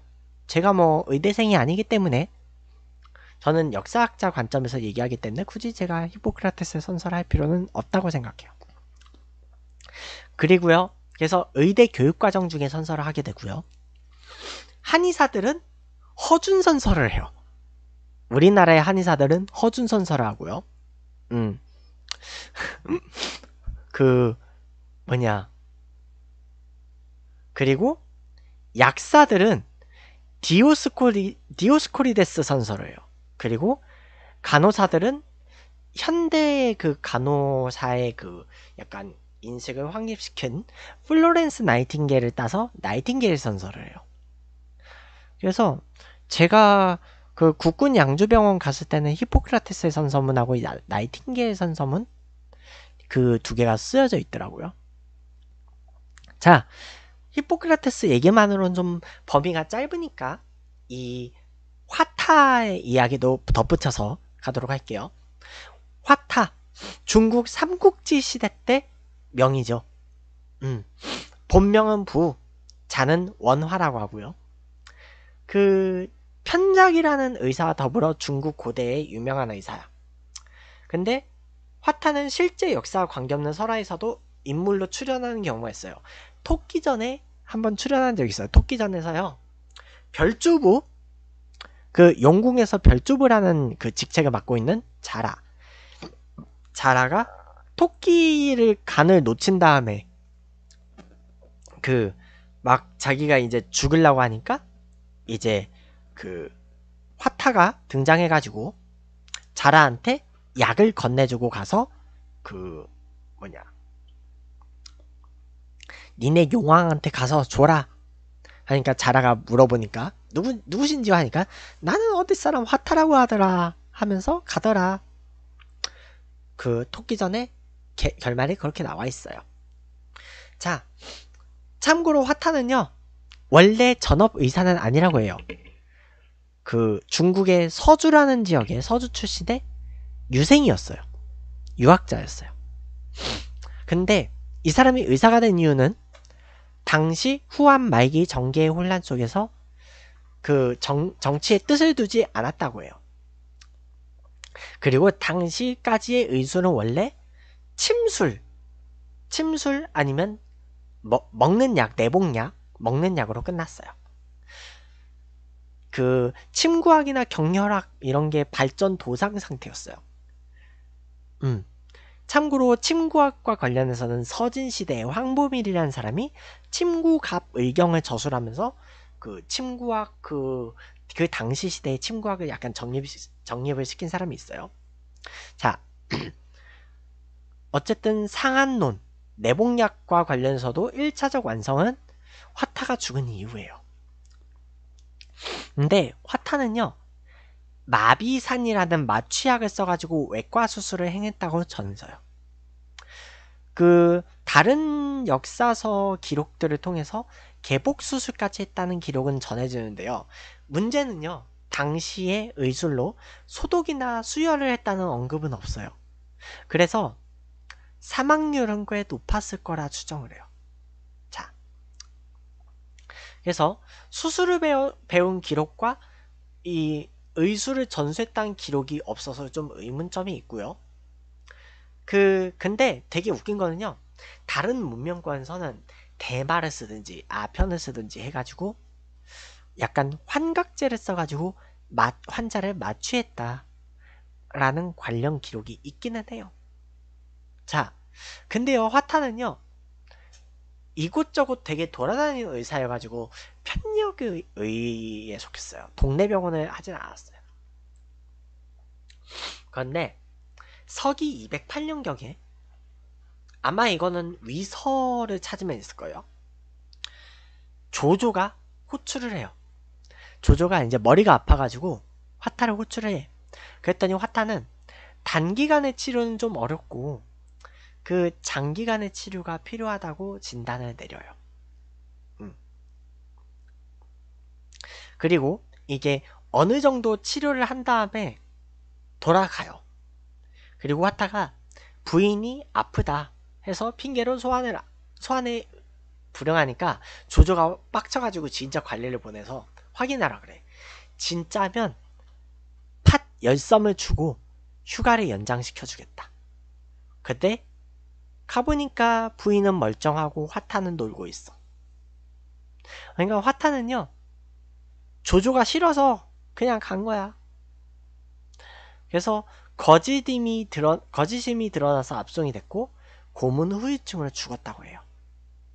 근데 옥중에서 관리한테 사람을 살릴 수 있는 책을 줬더니, 그러니까 이 책을 받아, 그, 바, 받, 받으려는 사람이 그, 받으면 나도 조조한테 죽을 것 같다 해가지고 안 받았대요. 그래서 화타는 태워버렸대요. 자 나중에 그 뭐냐 화타가 죽은 지 얼마 지나지 않아서 조조의 아들 조충이 죽었다고 전해져요. 참고로 조조는 이런 말을 남겼다 그래요. 화타는 이 병을 치료할 수 있는데 나의 병을 고쳐 스스로를 높이려고 했다. 내가 이 사람을 죽이지 않았어도 끝내 나를 위해 이 병의 근원을 잘라버리지는 못했을 것이다. 라고 하더라고요. 음. 그렇고요. 참고로 삼국지 연의에서의 화타는요. 좀 약간 시대를 좀 넘어가가지고 그 220년에 죽었다고 나와요. 음. 그러니까 여기서도 언급이 돼요. 그 이, 서기 219년 번성 전투에서 삼국지에 나오는 그 관우가 독화살 어, 그 독화살을 맞았다는 이력이 있는 건 나와요. 음. 근데 실제로 화타가 치료한 것은 아니에요. 실제 역사에서 화타가 치료하지 않았는데 음, 관우가 술 마시고 고기를 먹으면서 수술을 받았다는 기록은 정사에 있긴 있어요. 자, 그런데 삼국지 연의에서는 이 관우가 치료를 받았던 게 어떻게 그 각색이 됐냐면 관우가 바둑을 두면서 화타가 집도하는 수술을 받았다고 각색이 돼요. 실제로 화타는 이 시대 전에 죽었거든. 조조에 의해서. 그런데 삼국지 연의에서는 이 관우가 이 수술을 한 다음에요. 그 이후 이제 그 위하고 오의 그 협공을 받아가지고 형주성이 함락되잖아요. 그리고 그 과정에서 포로를 잡혀서 전사를 하죠. 음.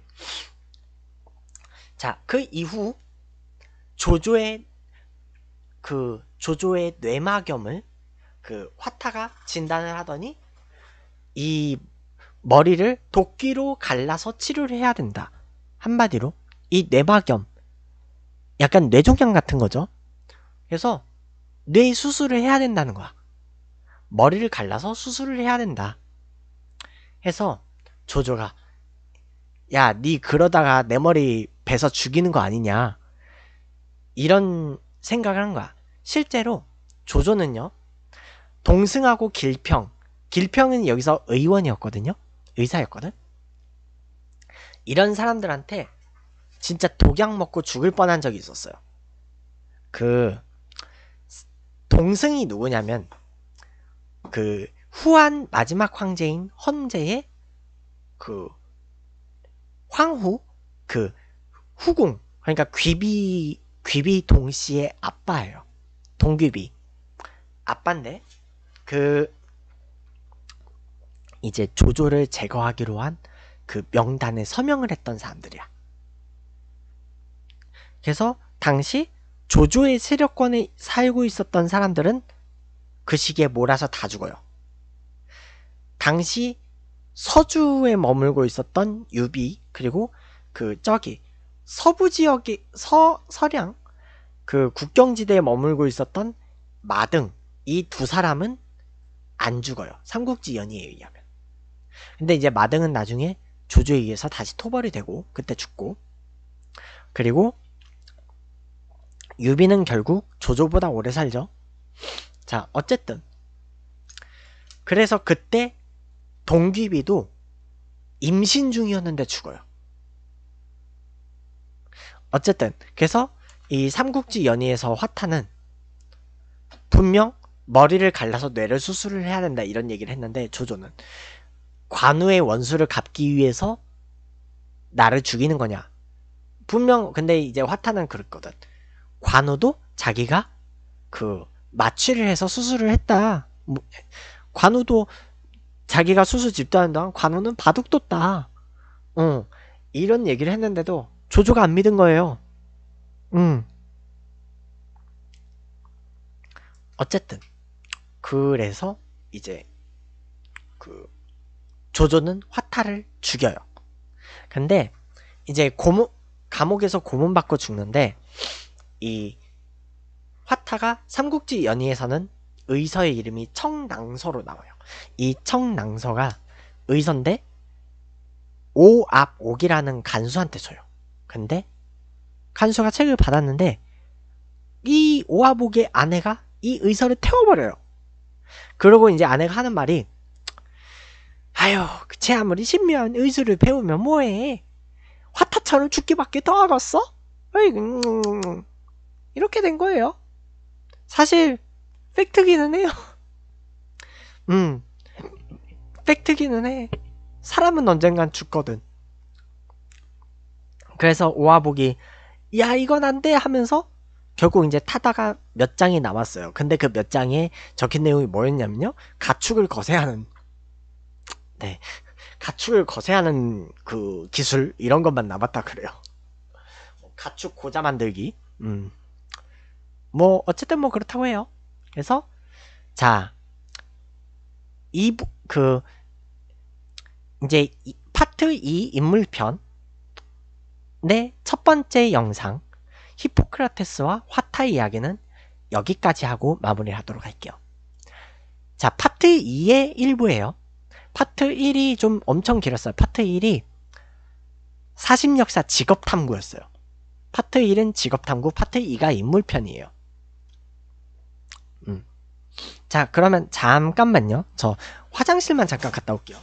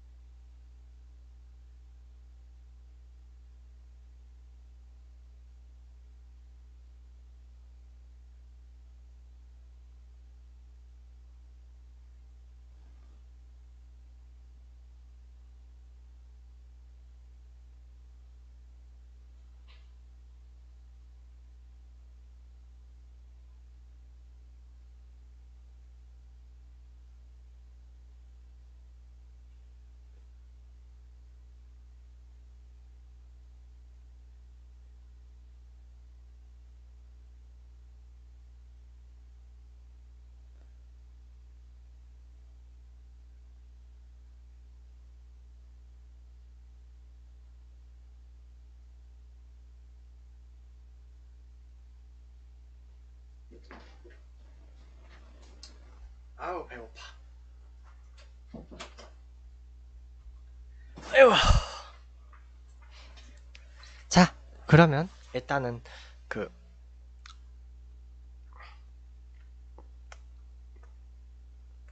식량 보, 에너지 보충 좀 하고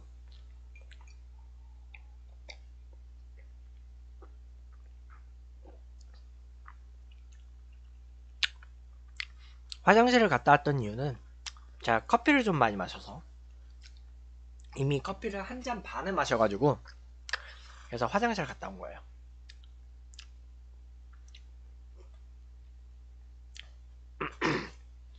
자, 그러면 파트 2 인물편 그 두 번째 인물편 2부 역사를 바꾼 의사들 이 얘기에서 이 사람을 빼놓을 수 없죠. 어쩌면 우리나라 한의학계에서 가장 최고의 인물이라고 할 수 있는 허준이죠. 음. 그래서 이제 그 한, 한의대에 입학하면 한의대 학생들이 이 허준 선서를 하잖아요. 음. 태어난 생일은 미상이에요. 1539년생이고 1615년 10월 9일에 죽었다고 알려져 있어요. 그 1615년이면 조선 광해군 시대죠. 그 조선 명종 시대에 태어나서 광해군 시대에 죽었어요. 생일은 알 수 없고 양천허 씨 양천허 씨 그 우리가 알고 있는 그 서울 양천구에서 그 유래한 지명이긴 한데 실제 허준이 살았던 그 등촌동 양천현의 그 파릉리라는 마을이 있어요. 파릉마을. 그 자리가 이제 강서구 등촌동인데 현재 거기는 이제 강서구로 바뀌었죠. 그래서 그, 그, 현재 이제 등촌동. 그 등촌동이 그, 이제 허준의 생가가 그, 있다고 전해지는데 정확히는 모르겠고, 어쨌든, 이, 그래서 허준이 태어났다고 하는 그 동, 추정되는 그 동네예요. 실제로 지금 그, 뭐냐, 도로 이름이 허준로가 있어요. 그래서 그 등촌로에 지금 그 허준박물관 있는데 제가 아직 허준박물관은 안 가봤어요. 허준박물관은 아직 안 가봤고 그 허준박물관이 있는 그 한그 그 왕복 4차로 도로가 있거든요. 그 도로 이름이 허준로예요. 그 9호선이 다니는 그 도로보다 한 블럭 위에 있어요. 음. 한 블럭 위에 있고 그래서 그 허준박물관에서 조금 걸어가야 되기는 하는데 그 그래서 이 동네의 근처에 9호선 양천향교역이 있어요. 어, 9호선 양천향교역이 진짜 있어. 거기에 진짜로 그 향교가 하나 있긴 있어요. 그래서 여기 여기 이름이 양천 향교역이 된 거고 그 근처에 허준 박물관이 있어요. 응. 그렇고 그래서 허준 박물관은 내가 나중에 기회가 되면 가보긴 할 거예요. 참고로 우리 동네에서 그 김포를 거쳐 가지고 그 인천 검단지구 거기를 가는 그 뭐냐 김포운수의 그 버스가 하나 있거든요. 그 버스 타면 허준박물관 한 번에 갈 수 있어요. 그 뭐냐 염창역하고 그 염창역하고 그 등촌동을 거쳐서 가기 때문에 그 다음에 이제 그 마곡역을 지나가죠. 그래서 그 다음부터 공항대로로 가는데 어쨌든 그래서 이 허준은 양천 허씨 시조는 허선문인데 이 허선문의 20세 손이에요. 허선문의 20세 손. 그래서 좀 꽤, 꽤 좀, 꽤 높은 벼슬을 했던 양반들이 많은 집안이에요. 그, 허준의 할아버지 허고는요, 경상 우수사, 우도 수도, 수군 절도사. 절도사면요, 정삼품 당 하관이에요. 지낸 이력이 있고, 그리고 그, 아빠인 허류는 용천에 부사를 지낸 적이 있어요. 부사가 종삼품 직이고 그 다음에 이제 허륜의 소실 영광 김씨라고만 알려져 있어요. 소실의 아들이기 때문에 서자예요. 음. 근데 동복 동생인 허징은 나중에 그 선조시대 영의정을 지냈던 노수신의 사위가 돼요. 인맥이 꽤 좋은 집안이에요. 이 허준의 집안이. 응. 영의정의 그 뭐냐 영의정의 집안하고 사돈 사돈까지 맺은 허준이에요. 사돈이죠. 그 노수신 사위의 형이니까. 음. 노수신하고는 사돈이 되는 거지. 얼마나 빵빵한 집안이에요. 영의정이 사돈이면. 그거는 이제 그 애초에 이 양천 허씨 집안도 꽤 나름 유력 가문이었기 때문에 이었으리라 추정이 돼요. 자, 그런데요. 이게 좀 그 그러면 왜 허준하고 허 허징은 그 왜 이 좀 이런 출세가 되게 다르게 됐을까? 음, 원래는요. 조선 시대의 서얼은 문과 응시는 불가능했어요. 서자하고 얼자가 있어요. 서자는요. 서자는 이 남편이 그 뭐냐 남편이 양반이야. 서자는 남편이 양반이고 그 아내가 첩이에요. 아빠가 양반이고 엄마가 첩이야. 면 서자예요. 근데 얼자는요. 얼자는 아빠가 아빠가 이제 양반이 아니에요. 그러니까 아빠가 좀 천민이야. 아빠가 천민이고 그 엄마가 양인이야. 그러니까 상인 천인이거든요. 그 조선시대에. 그러니까 맞나? 어 반상제도. 어 어쨌든 그래서 그 뭐냐 일반 양민 양민끼리는 뭐 상관이 없겠죠. 어쨌든 그래서 그 얼자는 과거 응시를 못하는데 1550년부터 법이 개정돼서 서자는 양첩 사이에서의 자식이라는 이유로 과거 응시는 가능하게 돼요. 음. 그래서 양첩, 음. 그래서 이제 양첩 사이에서 자식이란 게 돼가지고 근데 문제는 허주는 허주는 법이 개정되기 전에 과거를 봤고 그 허칭은 법이 개정된 다음에 봤어요. 그래서 허주는 문과를 응시를 못하게 됐어요. 문과를 응시 못했고 허칭은 문과를 응시를 했어요. 그래서 잡과들은 응시할 수 있었거든. 근데 솔직히 허준하고 허징은 허씨 집안에서는 서자잖아요. 적자 아니잖아요. 그런데 이 아빠인 허유는요.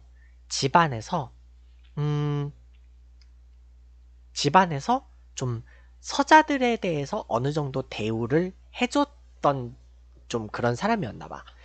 그래서 서자들도 다 같이 공부를 시켰다 그래요. 같이 공부를 시켰다고 하고 그, 그 다음에 이제, 그래서 이제 의과 시험에 합격을 해가지고, 급제를 해가지고, 음, 어쨌든 그렇다고 해요. 음, 근데 허주는 뭐 의학 쪽에 능력이 있었으니까 의과를 받겠지. 그래서 1569년에 내의원에 들어가고, 음, 1573년 정삼품 당하관 직위에 해당하는 내의원정이 임명이 돼요. 음, 내, 내의정, 그, 내, 내, 내의원 정에 임명이 되고, 그 다음에 1575년부터 이제 어의를 보좌하여, 음, 어의를 보좌하여 선조의 진료를 담당하게 돼요. 그래서 이제 1578년 내의원 첨정으로 급이 올라가고 그 1587년 선조 치료로 호피를 하사하게 돼요. 하사받게 돼요. 그 다음에 이제 1590년에는 이제 그 유명한 그 드라마 허준에서도 이제 그 광해군의 그 질병 광해군 두창 치료를 했다 그래가지고 1591년 당상관 정산품 당상관으로 올라가요. 의원 출신의 관료가 정산품 당상관 올라가는 것도 상당히 힘들어요. 정산품 당상관이면요. 이제 그 조선에서요. 되게 고위직이에요. 당상관이면 되게 고위직으로 그 높은 자리예요, 진짜. 보통 당상관이면요. 승정원의 승지? 어.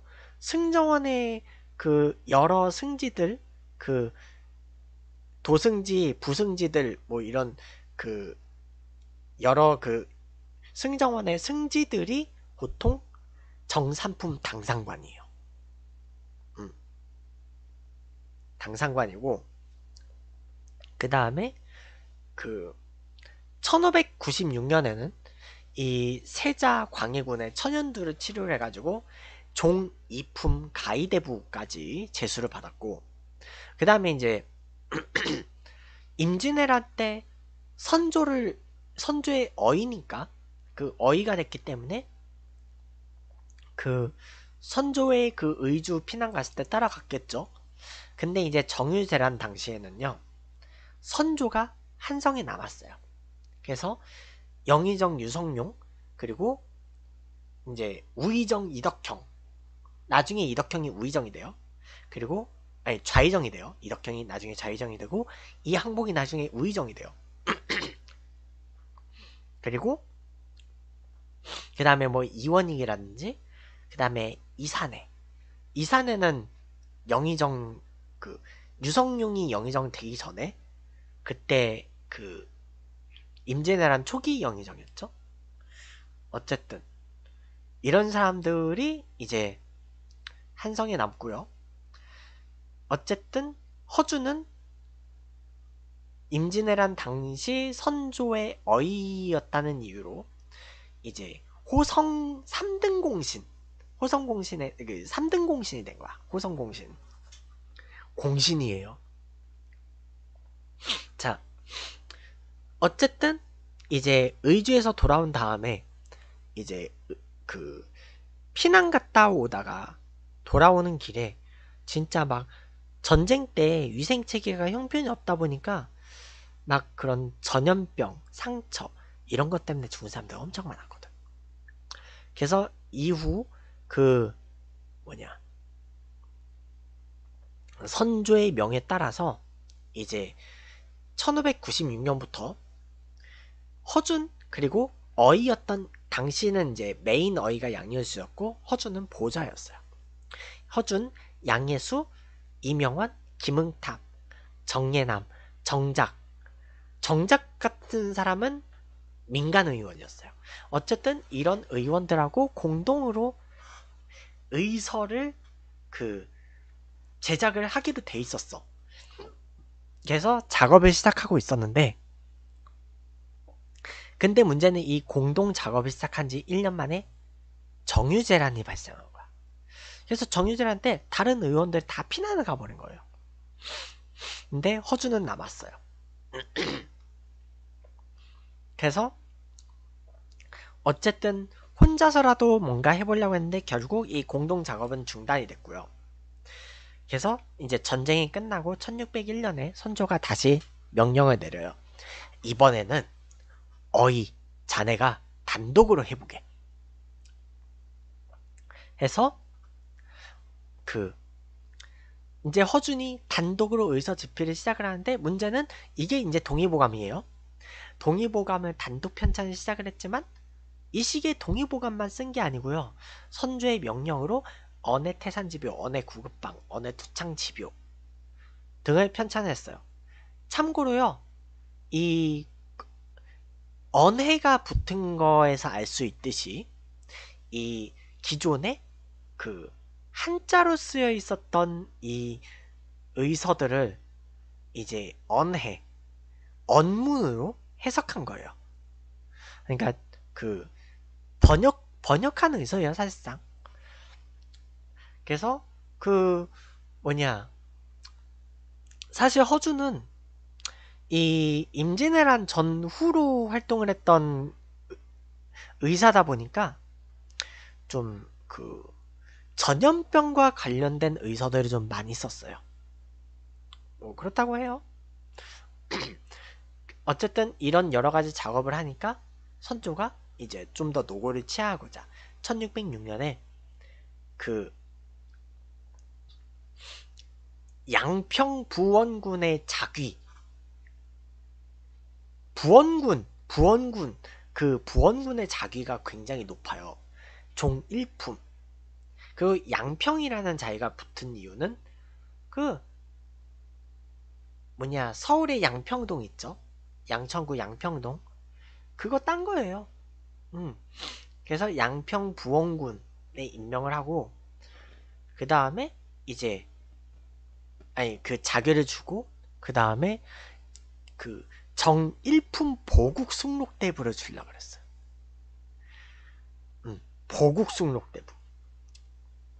정일품이면요 재상이에요. 어, 정일품이면 재상급직이에요. 음, 장관보다 높아요. 총리, 부총리급이야. 근데 결국 보류가 돼요. 이게 보류가 되고 그 이제 그 근데 이제 보통 그 당시 조선 시대에 잡과 그때는 의, 의학이 잡과로 분류가 됐어요. 그래서 잡과에 급제한 그 관료들은 한 품에 서용되는 원칙이 그 적용되고 있었어요. 그래서 보통 이 한 품에 한품 한직 이런 거에 임명하는 경우가 많아, 많아가지고 그래서 대부분이 정삼품 당 하관이 한 개였어요. 근데 이미 허주는 이미 정삼품 당상관이 올라간 거야. 음. 실제로 조선시대에요. 그 개화기 직전의 역관 출신이었던 오경석이라는 사람을 제외하고는요. 잡과에 급제했던 그 관료들 중에서 오경석 빼고 정일품까지 올라간 사람이 아무도 없어요. 참고로요. 박문수하고 이순신 그 유명한 사람들 진짜 그 유명했던 사람들도 살아서는 정일품에 못 올라갔어요. 이순신 같은 경우는 나중에 이제 임진왜란에서 전사하고 나서 그 이제 우의정, 좌의정, 영의정 계속 그 추증이 됐죠. 그리고 그 퇴계도 살아서는 정일품에 못 올라요.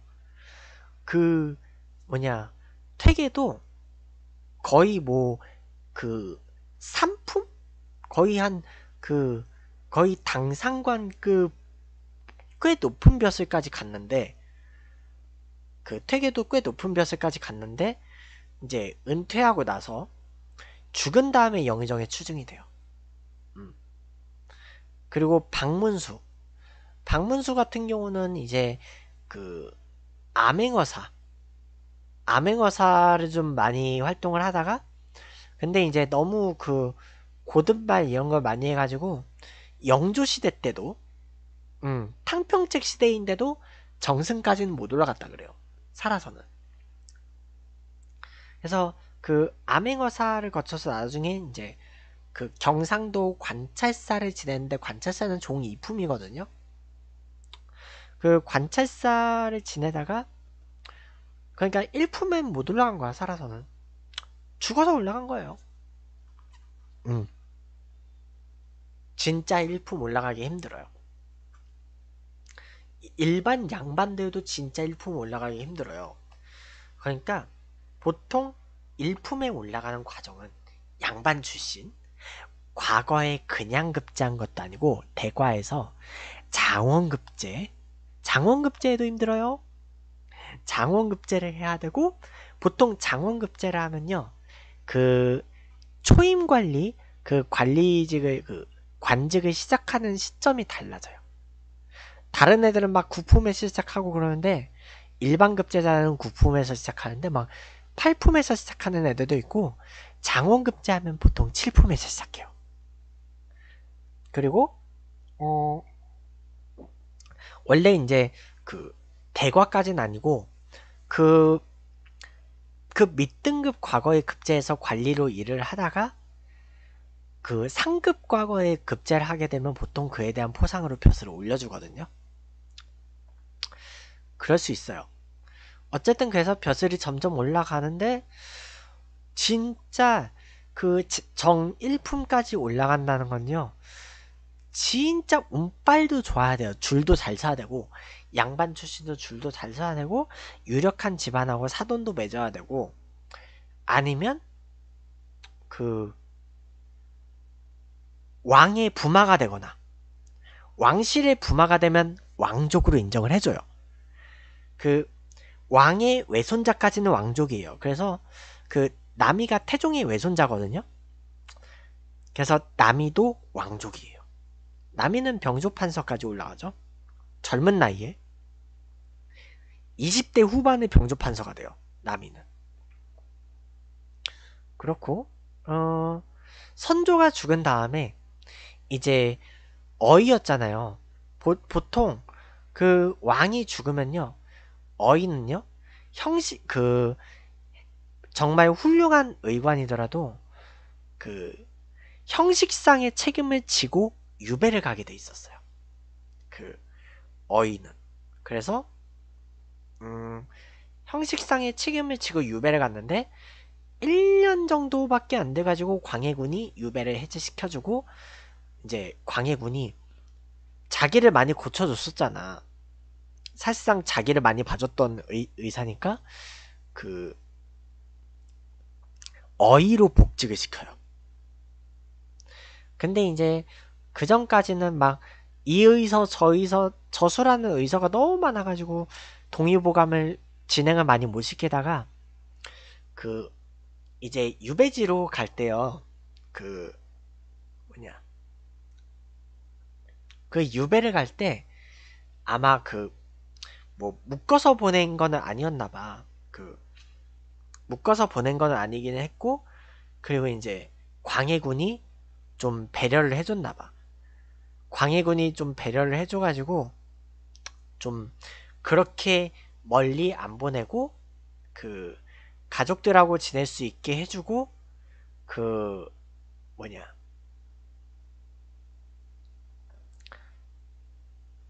가족들하고 지낼 수 있게 해주고 그리고 이제 의서를 저술할 시간도 줬어요.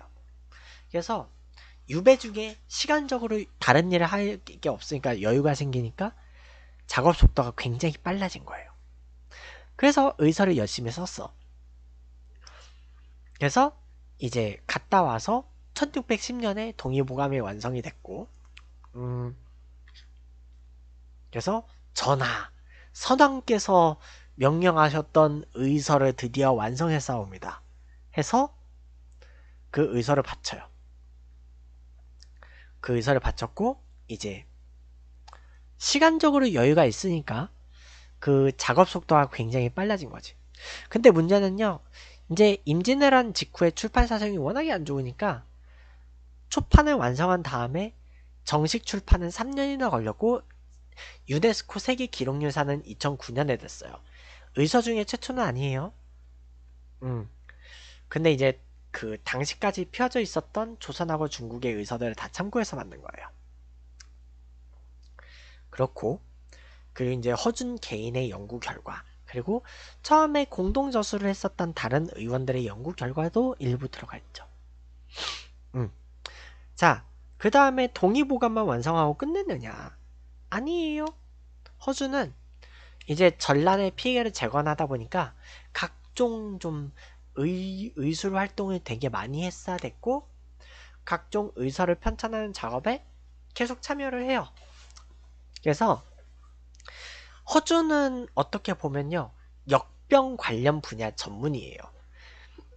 동의보감하고 다른 한 권을 제외하고 나머지 의서들이 전부 다 전염병 관련이에요. 그럴 수밖에 없었던 게 좀 이게 전시의 위생 속도가 너무 상태가 너무 불량이 되니까 전염 돌림병이 되게 많이 돌았나 봐.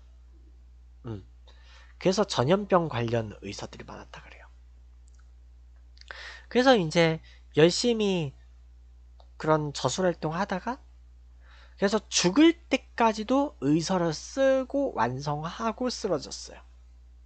음.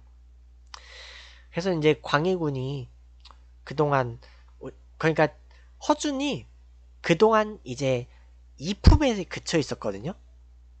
그동안 2품에서 1품으로 올라가지 못하고 있었는데 그 그동안 보류되고 있었던 양평 부원군 겸 보국 양평 부원군의 보국 숙록대부 정일품 자리 죽은 뒤에 추증해줬어요.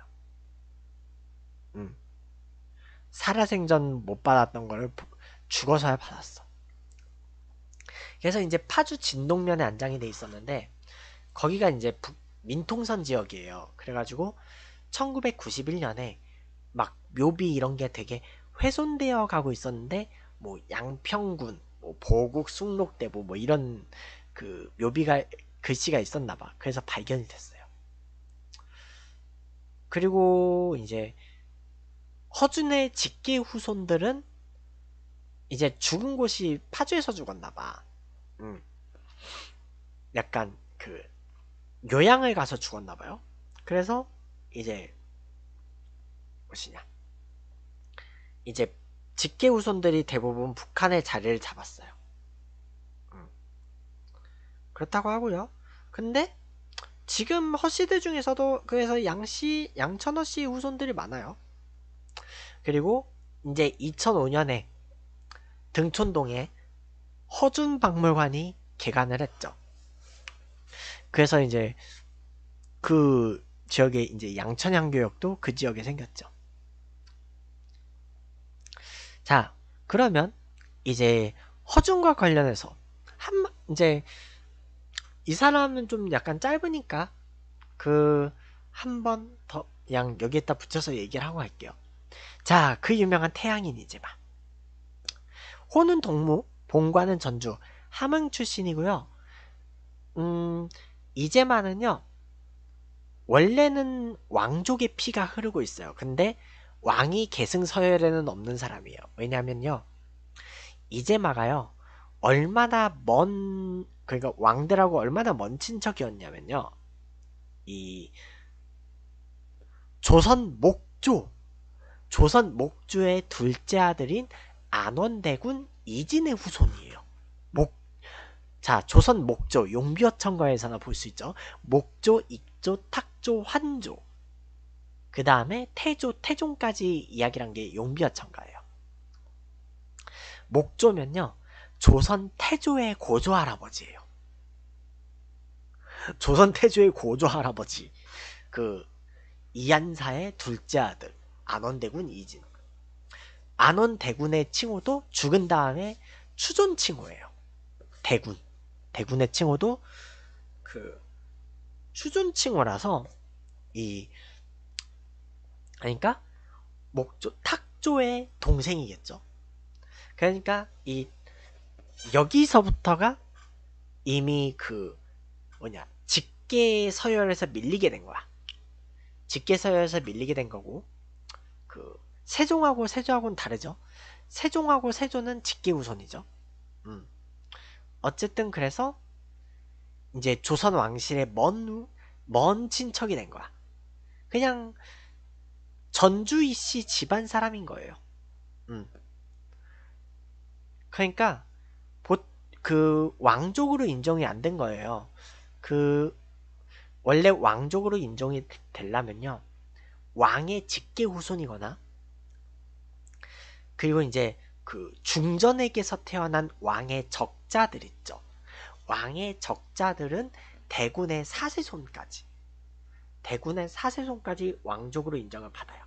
보통 그리고 그 그 다음에 이제 왕의 서자인 군들 군의 3세손까지 인정을 받고요. 그 다음에 이제 왕의 부마, 왕의 사위죠. 그러니까 이제 공주나 옹주랑 결혼한 왕의 부마들은요. 부마의 아들, 딸까지는 왕족을 인정을 해줘요. 음, 왕족 인정을 해주고 음. 그래서 또 이제 왕족들은 자기의 왕족의 피를 이어가기 위해서 이제 또 왕족들하고 막 결혼을 하고 그런 경우가 많아요. 그래서 이제 흥선 대원군도 대원군이 될 수 있었던 이유가 이제 그 헌종의 칠촌 아저씨였거든. 철종의 육촌 동생.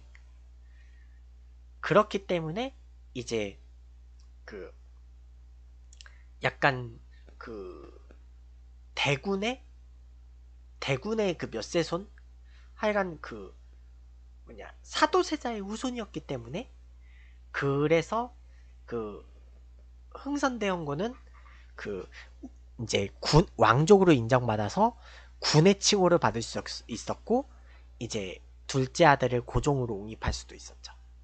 그렇다고 해요. 자, 그 근데 이제 이재마 같은 경우는 10대 향시에서 장원 급제한 이후로 한때 방황을 해가지고 행적이 없어요. 그러다가 30대 후반에 정신을 차리고 36살에 무과를 급제를 하고 그러니까 원래 무인 출신이에요. 어쩌다 의원이 됐는지 모르겠지만 무과에 급제를 했어요. 음. 그렇고 음, 그 다음에 50대에 진해 현감 그 진해 근데 여기서 말하는 창원시 진해구가 아니고요. 현재 그 마산 하포구인가? 하여튼 그 동네라고 해요.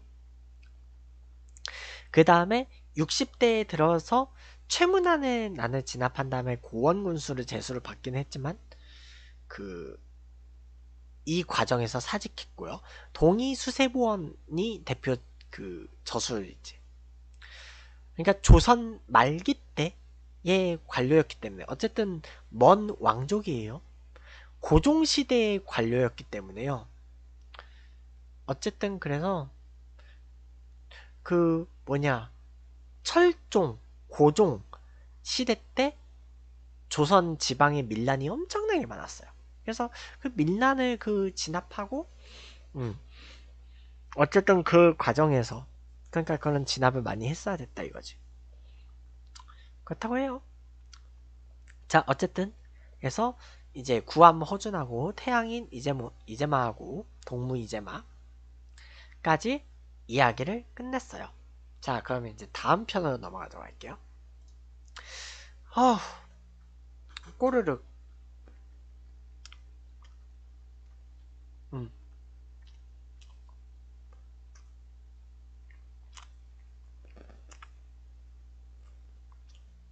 아주 먹을게요.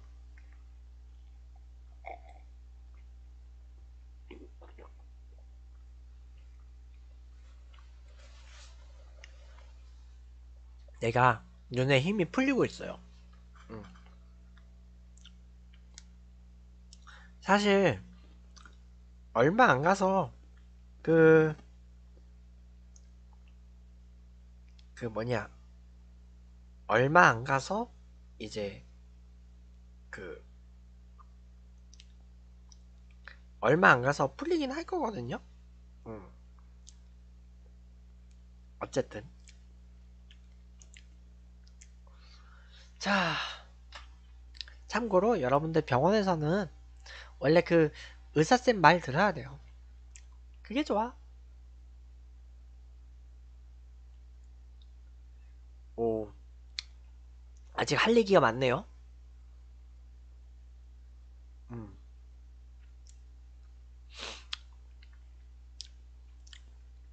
자, 그러면 이제, 음, 허준하고, 허준하고, 이제, 이제만은 의술로서 그러니까 약간 기술적으로서 좀 업적을 남겼다 하면 그러니까 의학 한의학계에서 업적을 남겼다 하면 이제 양의학계에서 그 양의학계에서 좀 업적을 남긴 사람 중에 한 명.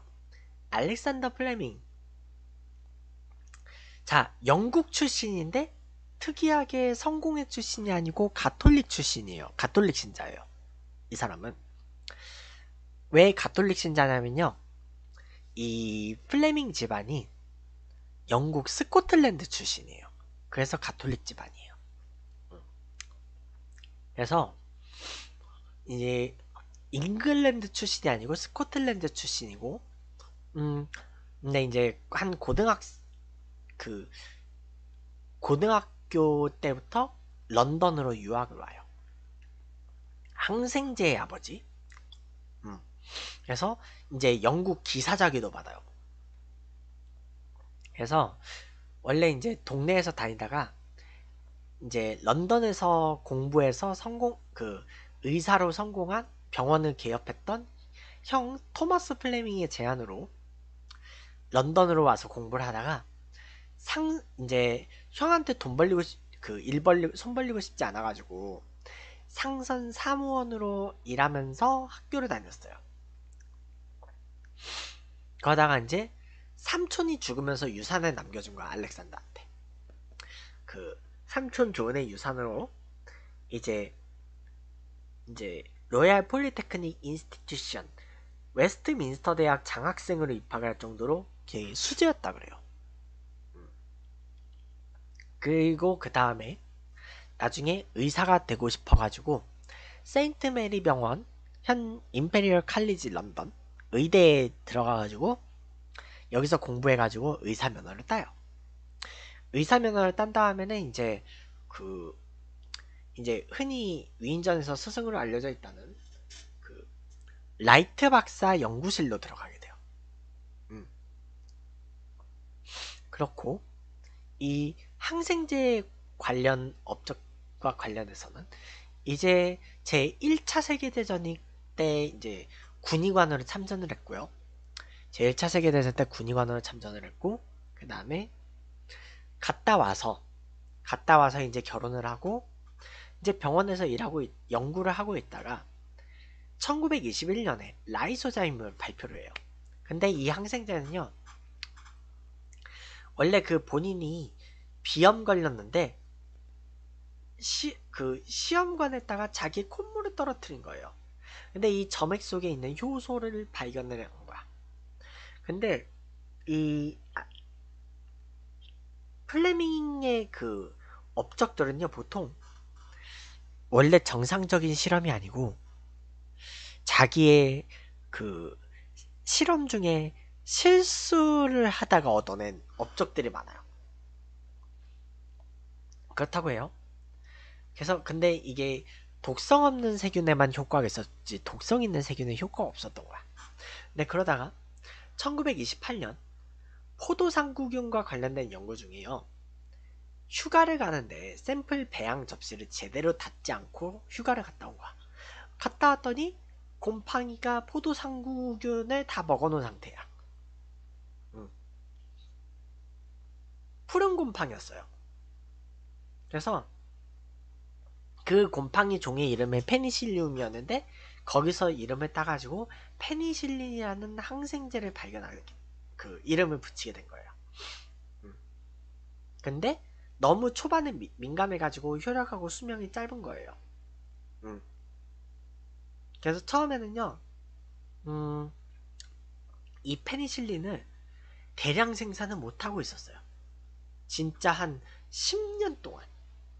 10년 동안 대량 생산을 못하고 있었는데 이 1939년에 옥스퍼드 대학에서 그 옥스퍼드 대학교에서 이제 연구하고 있던 하워드 플로리라는 박, 그 박사하고 언스트 체인이라는 박사 이 두 사람이 이 페니실린에 관심을 갖고 연구를 시작한 거야.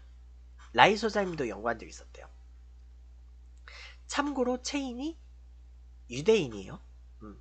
근데 이 사람들이 이제 1년 동안 연구를 한 결과 인공생성 및 정제 그러니까 인공으로 이 페니실린을 만들어내는데 성공을 하게 된 거예요.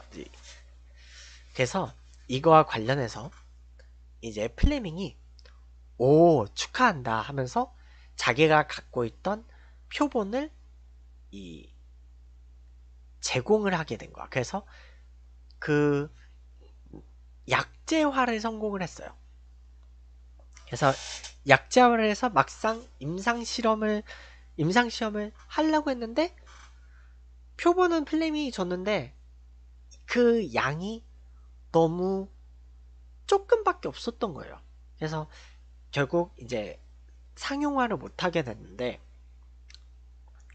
그래서 이제 그 페니실린을 좀 많이 만들어야 되지 않을까 해가지고 이거를 고민을 하다 보니까 그래서 이제 그 만들겠다는 업체가 나온 거예요. 그래서 미국에서 그래서 이제 플로리가 그 샘플들을 좀 몇 개를 갖고 미국에 가서 이제 공 그 약재 생산 공장을 이제 세우기 시작해요. 그러니까 그 이 페니실린과 관련해서 업적은 세 명이 공동을 한 거예요, 결국은. 그 페니실린 발견하고 표본까지는 플레밍이 제공을 해줬고, 그 다음에 이제 플로리라하고 체인은 임상시험하고 대량 생산에 성공하게 된 거야. 대량 생산에 성공하게 됐고 그래서 이제 이 사람들은 나중에요 제2차 세계대전 때 전선에 가가지고요 이 대량 생산에 성공한 이 페니실린을 갖다가 그 실전 활용에 성공하게 돼요. 그래서 이제 전쟁터에서 그 부상병들 항생제 치료에 항생 치료에 굉장히 그 큰 업적을 세우게 되면서 1945년 이 노벨 생리의학상 부문에요. 페니실린을 발견했던 플레밍 그리고 대량 생산에 성공했던 플로리 박사, 체인 박사 이 세 명이 공동 수상하게 돼요. 세 명이 공동 수상하게 됐고 그 다음에 이제 그 플레밍 박사는 1955년 3월 11일 런던 자택에서 심장마비로 죽어요. 그리고 이제 세인트 폴 대성당 가톨릭 신자니까 성당에 안장이 됐겠죠. 뭐 그렇다고 해요. 어쨌든 이 플레밍은 결국은 이제 자기의 실수에서 발견을 했다. 실수에서 페니실린을 발견해서 결국은 받았다. 참고로 항생제이기 때문에 약효가 좀 세고요. 맞으면 조금 아플 수 있고 비싸요. 음. 일단은 항생제 주사기 때문에요. 뭐 항생제 주사기 때문에 뭐 일반적으로 맞을 일은 그렇게 많이 없는데 보통 항생제는 이제 수술 약간 좀 이제 수술같이 그 외상 외부에 상처가 있을 때 그 상처를 아무는 과정에서 그때 이제 항생제를 좀 혈관에다만 맞아요. 보통 혈관에다 항생제를 맞고요. 정맥 주사를 맞아요. 항생제는 정맥 주사를 맞고 그, 그 다음에 그 통증을 완화하는 근육 주사 그 근육 주사는 엉덩이에 맞았어요. 그래서 저는 그 간호장교한테 엉덩이 되게 많이 깠어. 뭐 그렇다고 해요. 어쨌든 그래서 이 근데 이제 그 페니실린하고 윈스턴 처칠하고의 그 관계하고 좀 그런 약간 해프 뭐 이런저런 썰이 있는데 팩 완전 팩트는 아니고요. 그 그런 얘기가 있대요. 그 무엇이냐 윈스턴 처칠이 그 페니실린 주사를 맞고 나은 적은 있었대. 참고로 근데 플레밍 박사는 처칠 수, 윈스턴 처칠 수상보다 총리보다 7살이 젊어요. 음. 뭐 그렇다는 얘기가 있대요. 그래서 영국 언론에서 그 플레밍이 한 번은 뭐 처칠이 뭐 물에 빠졌는데 살려줬다. 또 한 번은 페니실린 주사로 살려줬다. 두 번 살린 것이다. 뭐 이런 얘기했는데 뭐 물에 빠져서 살려준 그거는 뭐 그 그거는 팩트는 아니라고 하더라고요. 자 그러면 플레밍 얘기는 여기서 마무리하고 이제 다음 파트 넘어갈게요. 다음 파트부터는요 좀 의료계 업적보다는요 좀 정말 그 의료인으로서 정말 진정으로 지녀야 될 가치를 실천한 역사적 의료인들을 이야기를 할 거예요.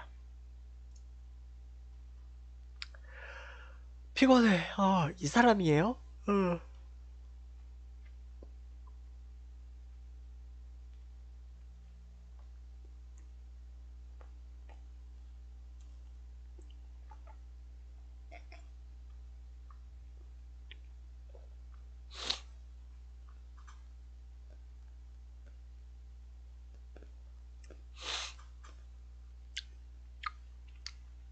자, 한번 이 이야기들을 한번 해보도록 하겠어요.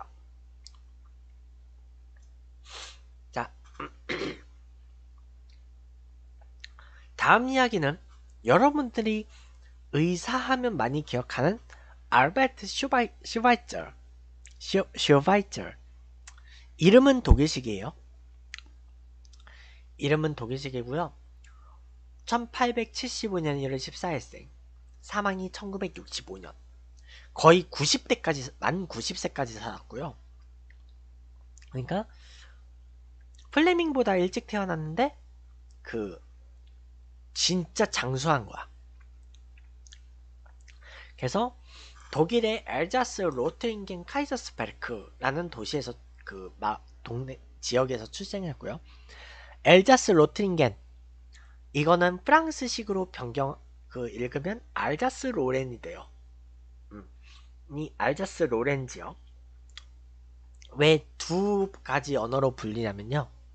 원래 이 지역이 음 약간 프랑스하고 독일 사이의 분쟁 지역이었어요. 분쟁 지역이었는데 이 제1차 세계대전, 대전이 끝난 이후로 이 슈바이처의 고향 땅이 프랑스가 돼요. 음. 그렇다고 해요. 그리고 음, 이 사람이 직업이 많아요.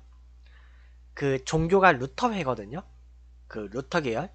그 독일의 독일의 북부 지역이 그 루터 루터교 교세가 좀 세거든요. 근데 이 슈바이처의 고향 지역에 한정해서 가톨릭이 교세가 굉장히 세요. 결국은 이제 프랑스 땅으로 넘어가잖아요. 그래서 가톨릭이 교세가 센데 거기서 루터회 목사로 활동한 거야. 그 루터의 목사로 활동을 했고 목사 겸 의사예요. 목사 겸 의사고 음악가로도 활동을 해요. 이 사람은 음악 관련 활동도 있어요. 자 그리고 음 근데 이제 아무래도 그 집안이 음 그렇게 넉넉한 집안은 아니었대요. 그렇다 보니까 그 이제 고등학교 독일의 그 뭐냐 대학을 가기 위한 9년제 고등학교가 김나지움이라고 있어요. 이 김나지움이라는 그 학교는 작은 할아버지 집에서 다녔어요. 음. 그렇고 그 다음에 이제 1899년 1899년에 이제 그 철학 박사 학위를 받았고요. 철학 박사는요. 저기 그 뭐냐 중간에 파리 대학 그 유학 가서 배웠다고 해요. 그 다음에 1900년 이제 독일 스트라스부르 대학 스트라스부르 대학에서 괴테가 나온 학교예요. 스트라스부르 대학에서 이제 복음서 연구를 해가지고 신학 박사 학위를 받았고요. 그 다음에 그 1903년부터는 스트라스부르 대학 신학부 강사가 됐어요. 그러니까 이 사람이 대학을 갔던 목적은 신학을 배워서 그 자기 아빠의 뒤를 이어서 목사가 되려고 했었거든요. 그래서 목사로 활동해요. 음. 그래서 일단은 이 사람은 대학을 나와서 대학 강사 겸 목사로 활동을 해요. 근데 그러면서도 음악에도 되게 조예가 깊어가지고 요한 세바스티안 바, 바흐 그 지선상의 아리아 바꾸 그 바로크 시대의 그 뭐냐 바흐 그 바흐를 연구했어요. 그 바흐를 연구했고 그 악기가 주특기가요 파이프 오르간을 연주할 수 있었다 그래요. 아무래도 교회 음악 이런 거 하다 보니까 파이프 오르간 연주를 잘 했겠죠.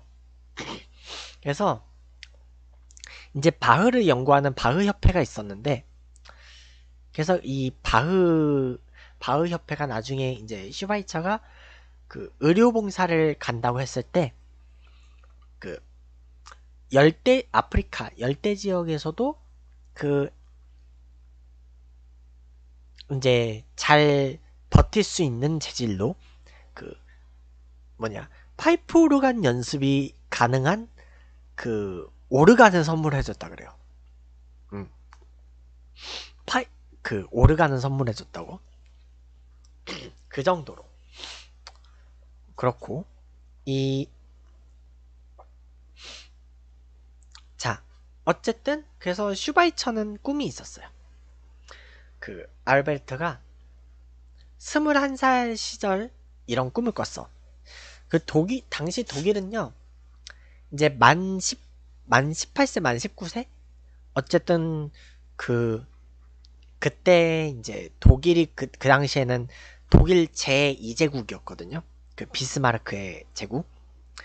그 당시 독일은요. 의무복무제였어요. 징병제. 그래서 1년 동안 의무로 군대를 갔어요.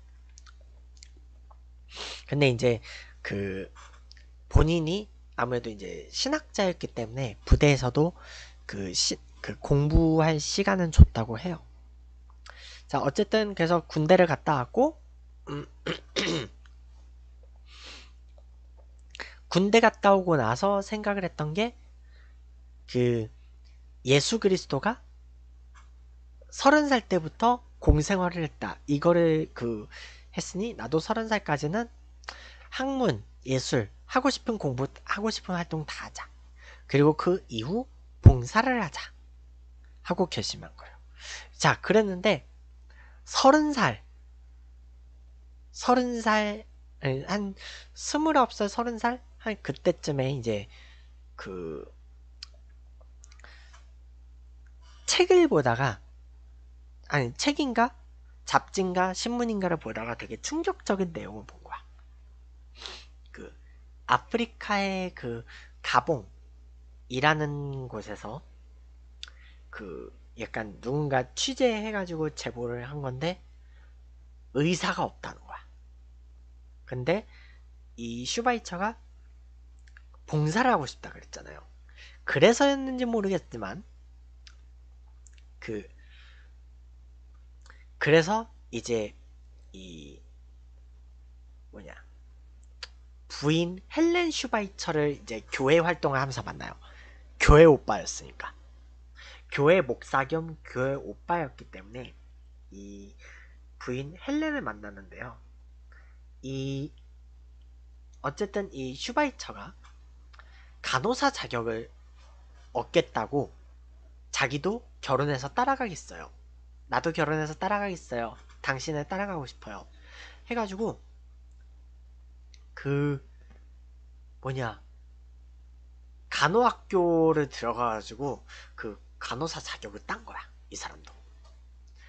그래서 이제 그 의사 자격도 땄고, 어, 의사 자격도 땄고, 그 둘 다 이제 교회 다니면서 알았으니까 그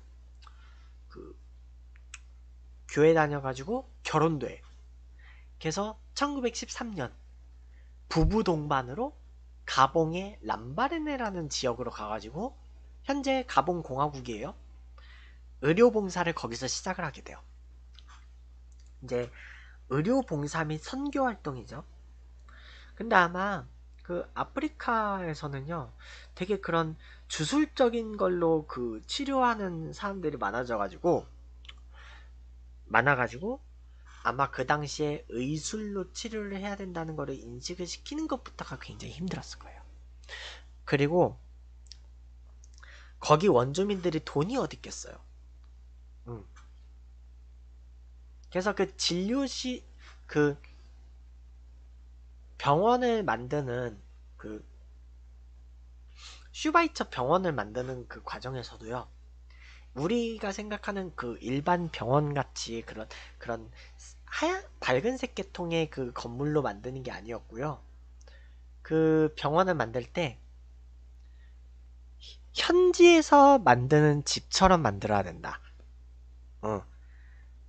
그래서 현지에서 원주민들이 만들던 그 당시에 짓던 집하고 똑같은 모습으로 모기장 치고 하여간 그런 그, 그 이제 그 풍토병 이런 거를 막아야 됐기 때문에 어쨌든 그 위생 이런 것도 신경을 써야 됐고 뭐 어쨌든 그랬다고 해요. 음. 그리고 그 일사병 그런 그 일사병 이런 걸 막기 위해서 사실 모자를 항상 써야 됐죠. 음. 모자를 모자를 항상 그 써야 됐었고 음, 그렇다고 해요. 그렇고 이제 그 의료봉사를 하면서요. 그 의료봉사를 하면서 항상 거기에만 머물러 있었던 게 아니에요. 슈바이처는 중간중간에 유럽을 방문을 했어요. 그런 이유가 있어요. 그 의료봉사에 들어가는 자금을요. 본인이 거의 다 부담을 했어요. 음. 지금이야 뭐 각종 그 NGO 뭐 이런 데서 다 그 봉사를 이런 데를 그 하는 그런 게 다 있지만 지금은 그런 게 다 있지만 이제 그때는 없었거든요. 그때는 없어, 없었다 보니까 제 1차 세계대전이 그 뭐냐 시작되기 전후로 어쨌든 그런 의료 처음에는 그러니까 처음에 1913년에야 갈 수 있었던 이유 의학 박사를 1912년에 취득을 했어요. 음. 박사 논문 제목이, 제목이 예수에 대한 정신의학적 연구. 아무래도 목사니까, 음, 목사니까 대학을 두 번 다녔잖아요. 어쨌든. 어쨌든 그래서 기 헬렌 슈바이처하고 같이 그래서 이제 의학 박사까지 취득하고 그러니까 30대 후반이 되어서야 이제 의료 봉사를 시작하러 갔는데 그 그때서야 간 이유로는 네 아무래도 자금을 모아야 되니까. 음. 자금 자기가 다 모아서 갔기 때문에 그래서 이제 그 이제 문제는 이 독일이 아프리카의 식민지가 없었어요. 가봉은 프랑스의 식민지였고 그 슈바이처는 독일 사람이었어. 그래서 제 1차 세계대전이 시작되면서 그 뭐냐 프랑스 군이 이제 슈바이처를 포로로 잡게 된 거예요. 포로를 잡게 됐고 그 무엇이냐 프랑스 포로 수용소에 수감이 되어 있다가 그 1917년 그 알자스 지역으로 송환이 돼요. 고향으로. 참고로 그 슈바이처 어머님이 그 프랑스 병사들의 말에 깔려서 죽었다 그래요. 말에 깔려서 죽은 그 어쨌든 그런 트라우마가 있다. 어쨌든 그럼에도 불구하고 슈바이처는 그 생명에 대한 외경심으로 그런 자신의 그런 그 윤리 사상을 그 정립을 하게 돼요. 혹시 여러분들이 그 윤리와 사상 뭐 이런 거 그 공부를 할 일이 있을 수도 있긴 하겠는데 아마 공부하게 되면 관련해서 아마 배우게 될 거예요. 그 슈바이처의 그 윤리와 관련해서. 응. 그렇고요. 이때 이제 아프리카 한번 갔다 왔으니까 물과 원시림 사이에서라는 이제 책을 내게 돼요. 책을 낸 목적은 또 이 자, 도책으로 돈 벌어서 의료봉사 하러 갈 돈을 또 모아야 돼. 그러니까 자기가 병원 세우고 응, 의료할 그 약품 사고 이런 거를요. 그 병원 지을 자금, 약 약품 살 자금, 음, 의료 도구 이런 거 그 각종 운영비 다 자기가 축당한 거예요. 그래서 그 의료봉사 자금 이런 걸 마련을 하려고요. 그 자기가 책도 쓰고 그 뭐냐 파이프 오르간 연주도 하고 다녔어요. 오르간 연주에도 그러니까 중간에 막 연주 여행도 막 유럽에 갔다 온 거야. 연주 연주 여행도 했던 이유가 그 공연으로 돈 벌어 가지고 그것도 이제 병원 관련해서 돈 쓰려고 다 자기 그 활동에 그 돈 쓰려고. 자, 음, 그렇고요. 그래서 제1차 세계대전이 끝나면서 알자스 로렌 지역이 프랑스로 편입된 거예요. 그래서 이제 슈바이처의 가족들이 여기서 선택을 하게 돼요. 의료봉사 활동의 자유를 위해서 그러니까 좀 그 가봉에 다시 가야 되잖아. 그러니까 거기서 좀 더 편하게 활동을 하기 위해서 좀 좀 제약이 없게 하기 위해서 국적을 프랑스로 바꾸게 돼요. 그 서아프리카에서 활동을 했거든요.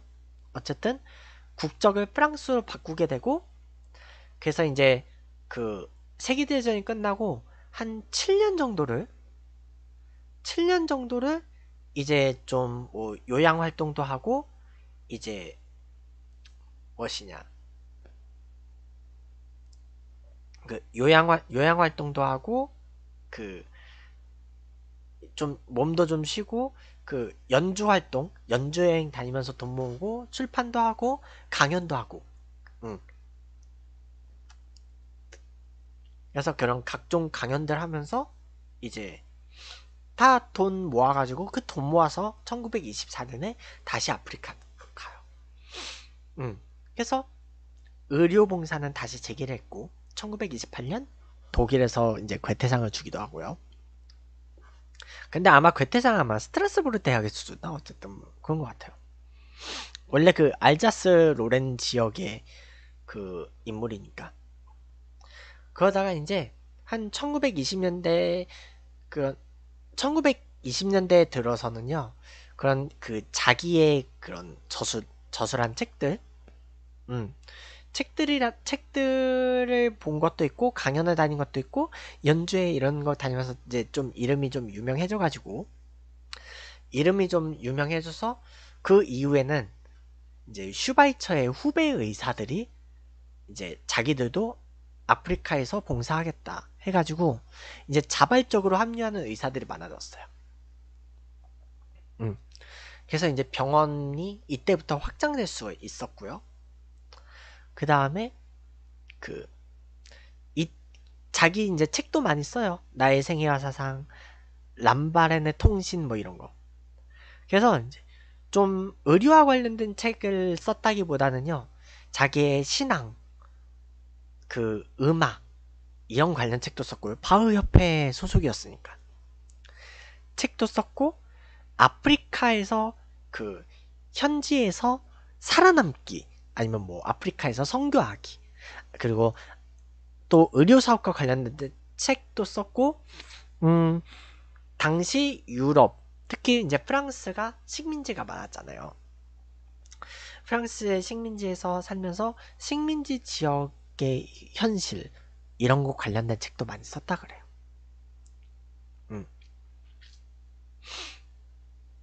그렇고요. 그 다음에 어쨌든 그래서 그 이후 계속 의료 활동을 하면 의료 봉사 활동을 하면서 이제 제 2차 세계 대전 때는 그래서 이제 병원은 그 람바렌에 있던 그 슈바이처의 병원은 그 어느 쪽 군대도 아무도 건드리지 않았다고 해요. 부상병들도 다 거기서 치료했고요. 전쟁 부상병들 만약에 그 전선에 부상병이 있을 경우 다 거기서 치료를 했고 완전 최전선은 아니었거든.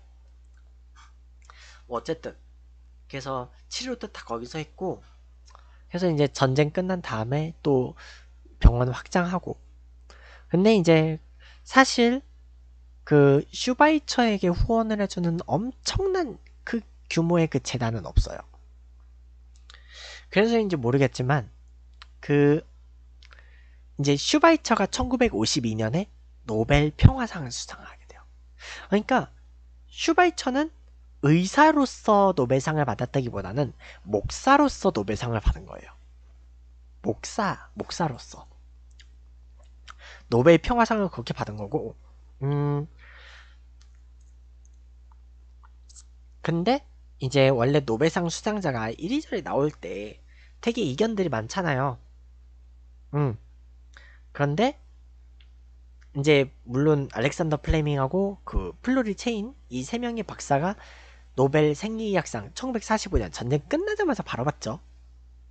아무래도 그 항생제 관련 연구였기 때문에 전쟁 때 이게 많이 나갔거든. 그래서 노벨 의학상을 바로 받았는데 슈바이처 같은 경우는 전쟁이 끝나고 나서 전쟁 끝나고 나서 이제 유럽이 평화를 찾으면서 더군다나 그때는 이제 전시 상황이에요. 세계 경제 대공황까지 있어요. 그렇다 보니까 경, 그 경제적으로 막대한 부호가 슈바이처의 병원을 후원해 줄 수 있는 상황이 아니었어요. 그런 상황에서 자기가 연주 여행 다니고 저술 활동해서 책으로 팔아서 돈 벌고 강연 활동하고 그러니까 자기가 다 공연하고 강연하고 뭐 이런 걸로 다 돈 번 거예요. 책 쓰고. 그러면서 이게 알려져 가지고 1952년에 노벨 평화상을 받게 된 거지. 자, 노벨 평화 노벨상 수상식이 보통 스웨덴 스코, 스톡홀름에서 진행이 되지만 평화상 수상식 시상식만 오슬로에서 거행돼요. 그래서 노르웨이 갔던 김에 또 간 김에 간 김에 다 하지. 그 라디오 방송국에서 원자력 개발과 관련돼서 반대 강연 이런 걸 또 해요. 당시 이제 핵무기들이 막 위협적이니까. 그리고 평, 노벨상 받았던 상금은 그거 갖고 뭐 했겠어요. 또 아프리카 아프리카 가가지고 그 요양원을 세운 거죠. 그 한센병 나병 환자들을 위한 그 요양원 건립에 쓰게 됐어요. 그 저기 여수에 가면요. 여수공항 뒤쪽에 그 애양 재활원이라고 있거든요. 애양원이라고. 그 애양원이라고 있는데 거기가 이제 그 우리나라 그 다환자들 그 요양하는 그 동네라고 알고 있어요. 어쨌든 여수에 있어요. 여수공항 뒤편에. 어쨌든 그래서 슈바이처는 상금까지도 다 의료 그 의료봉사에 썼다. 그러다가 이제 이제 1957년에 그 이제 헬렌 슈바이처가 사망한 다음에 그 다음에 이제 부인은 그 부인은 이제 유럽 유럽에 있는 집하고 그 아프리카하고 왔다 갔다 했죠. 근데 이제 헬렌이 죽은 이후에 슈바이처 본인은 그 이후로는 자기가 죽을 때까지 이제 한 8년 동안 유럽에 한 번도 안 갔다 그래요.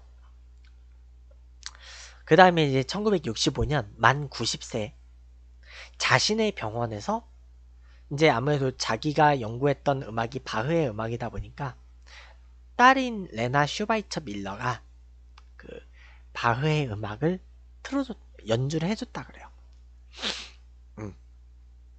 음. 그렇게 임종을 했고 음.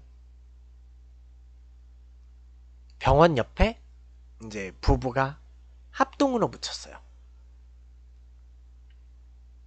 그래서 이제 지금도 그 람바렌의 그 병원 슈바이처 병원 가면 그 부부의 동반 묘지가 있고요. 그, 그, 이제 딸, 첫, 첫째 딸이에요. 딸, 레나 슈바이처 밀러도 이제 1918년에 태어났거든요. 전쟁 끝나고. 근데 이제 엄마랑 아빠의 그 영향을 받아가지고 자기도 죽을 때까지 아프리카에서 의료봉사를 하다가 죽어요. 그러니까 이제 의료인들한테 어떻게 보면 기술보다 더 중요한 게 인류애하고 생명에 대한 존중 행위거든요. 어쩌면 의사들에게 정신적으로 어떤 게 가장 중요한지를 행동으로 보여준 가족들이라고 볼 수 있어요. 근데 사실 유럽에서는요. 그래서 그 슈바이처가 1952년 노벨 평화상을 받았고 그 다음에 1957년에 부인이 사망한 이후 자기가 죽을 때까지 유럽에 안 나왔다는 거야. 그렇다 보니까 음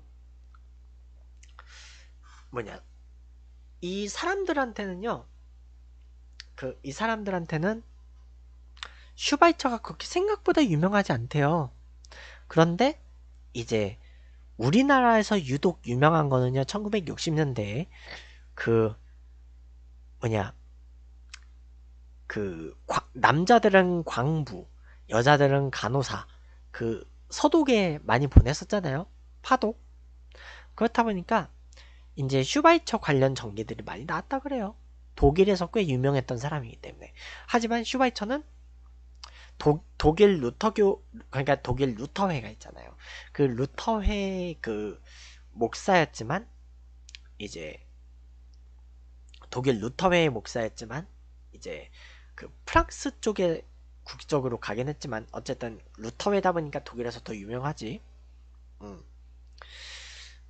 어쨌든 그래서 슈바이처가 솔직히 얘기하면요 의료 쪽에 관련해서는 업적을 그렇게 특출나게 세운 건 없어요.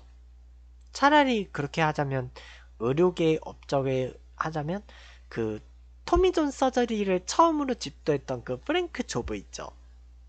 그 프랭크 조브 박사 지금은 이 세상에 없는 사람이에요. 그 프랭크 조브 박사 아니면 그 루이스 요컴 박사, 제임스 앤드루스 박사 아니면 이제 지금 그 토미 존 surgery 권위자 중에 한 명이 닐 엘라트라체 다저스 주치의예요 현재 다저스 주치의인 닐 엘라트라체 뭐 이런 사람들이 더 의료계 쪽에서는 더 권위자들이에요. 자 그런데 그 어쨌든 이 봉사정신 봉사 정신이 투철했기 때문에 이, 이 봉사 정신 때문에 노벨 평화상을 받게 된 거죠. 뭐, 그렇다고 하네요. 음. 자, 그러면 이제 잠깐만 좀 쉬고, 네.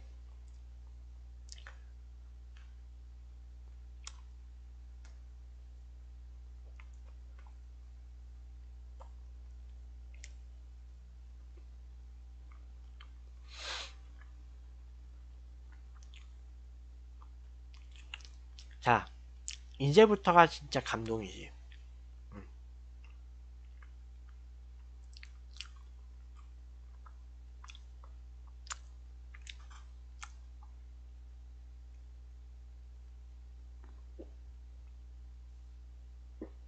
자, 여기서부터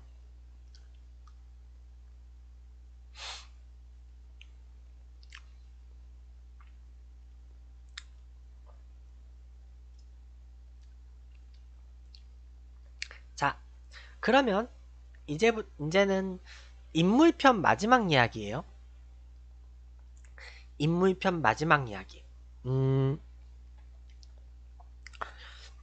아프리카의 수단에서 의료봉사를 했던 이태석 요한 세례자 신부님. 지금은 고인이죠. 음, 요한 세례자 신부님에 대해서. 음, 이 알베르트, 알베르트 슈바이처가 목사가 먼저 되고 의사가 된 케이스라면요. 목사 겸 의사죠. 이 이태석 신부님은요. 의사가 먼저 된 다음에 수도에 입회해서 신부님이 된 케이스예요. 음. 의사하고 의사를 의사하고 의사를 거쳐서 수- 의사에서 수도회를 거쳐서 신부님이 된 케이스. 그렇다고 해요. 음. 의사 겸 신부님. 음. 사제. 그래서 좀 각종 수상 이력으로는 2005년 제7회 인재인성대상. 자신의 모교인 인제대학교에서 받은 거고요. 인제대학교는 부산에 있어요. 그 다음에 2009년에 한미 자랑스러운 의사상. 그렇고 2010년에 제1회 KBS 감동대상. 그 다음에 2011년 국민훈장 무궁화장.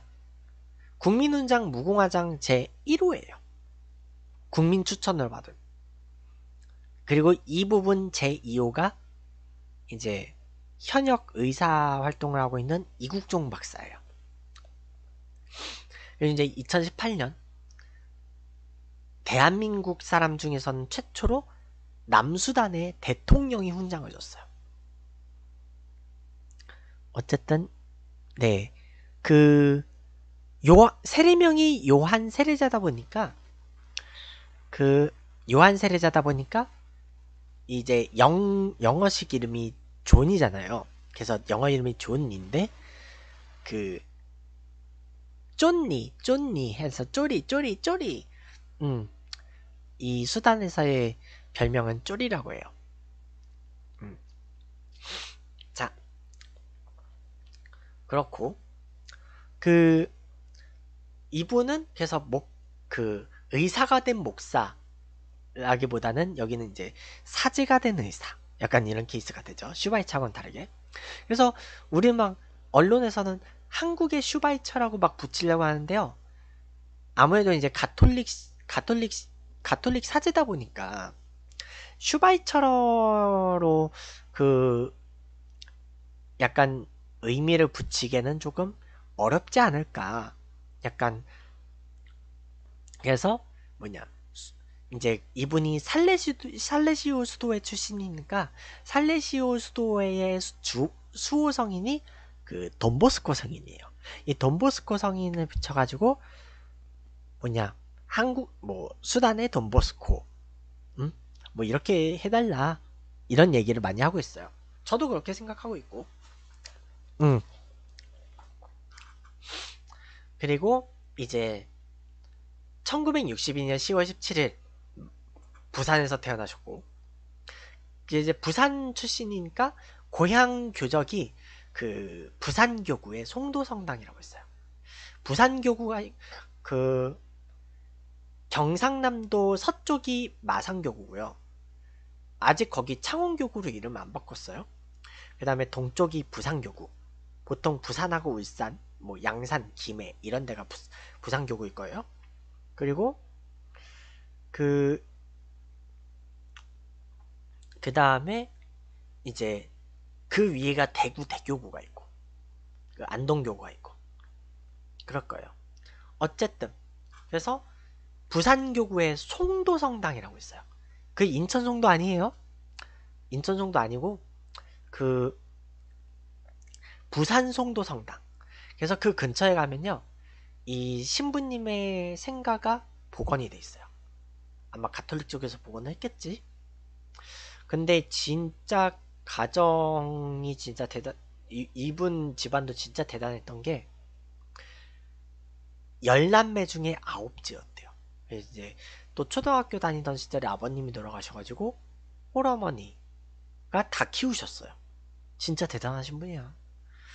그리고 그래서 이제 집안이 성당을 다니다 보니까 이제 성당에서 풍금 당신은 오르간이 아니고 풍금이었대요 옛날에는. 음. 지금이야 성당들이 다 오르간을 쓰지만 그 명동 명동은 파이프 오르간 쓰죠. 명동은 파이프 오르간이고요. 그 그래서 성당에서 풍금을 셀프로 독학으로 배워 가지고 풍금을 작곡하, 작곡까지 할 줄 알았대요. 그래가지고 그 중학교 3학년 때 이미 이제 본인이 묵상이라는 제목으로 자작곡을 만든 성가가 있어요. 성가까지 작곡했던. 참고로 이 묵상이라는 성가는 나도 아직 안 들어봤어요. 어. 한번 찾아봐야지 알 것 같고요. 그리고 음, 그 다음에 이제 성 다미안 그러니까 성 가톨릭 성인이에요. 다미안 드 베스테르 신부님 이 성인의 일대기 관련 영화를 보고 그러니까 뭔가 그런 봉사를 하고 싶은 뭐 이런 영향이 있었나 보지. 그러다가 이제 부산에 부산에서 경남고등학교 졸업하고 이제 인제대학교 의과대학 8일 학번이 됐죠. 음, 인제대학교 의과대학에서 8일학번 됐고 어느 과목 전문인지는 솔직히 저도 잘 모르겠고 그래서 이제 1987년 의사면허를 취득한 뒤 군복무는 육군 12사단 군의관으로 복무를 했어요. 군의관으로 복무를 하고 거기서 이제 아무래도 사단 성당 다니면서 어 사제가 되고 싶다. 생각을 했는데 자 1962년생이에요. 1962년생인데 음 의사 면허 취득하고 군의관까지 복무를 했으면요. 그 1991년에 전역을 해요. 자, 전역 시- 전역 직후 시점. 근데 일반 신학생들처럼 약간 그 신학교에 그 신학교에 그 뭐냐 들어가서 기숙사 생활을 하기에는 조금 좀 제한이 있었겠죠. 어쨌든 근데 이제 의사했던 의사 자격을 갖고 있었던 것도 있고 하다 보니까 이제 광주에 있는 살레시오 수도회를 들어가요. 이 수호 성인이 돈보스코 성인이고 그 그래서 돈보스코 성인이라고 부르는데 그 세례명을 돈 보스코 존, 존 보스코죠. 요한 보스코. 음, 어쨌든 요한 보스코 신부님의 성인의 그 이름을 따서 설립이 된, 아니, 이름, 이름이 딴 게 아니지. 이 신부님이 설립한 수도회가 살레시오 수도회예요. 이 살레시오 수도회가 지금 광주에 있고요. 음. 그래서 그 광주 살레시오 수도회가 운영하는 그 살레시오 학교가 있어요. 살레시오 고등학교. 우리 아빠가 그 살레시오 고등학교 나왔어요. 그렇고 그 살레시오 고등학교로 나왔고 그 다음 그 다음에 이제 수도에 입회한 다음에 광주 가톨릭 대학교 신학과 입학.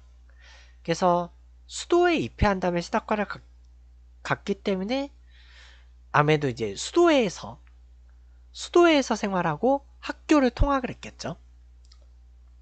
그 다음에 1994년에 이제 수도자들은요, 그 서원을 해요.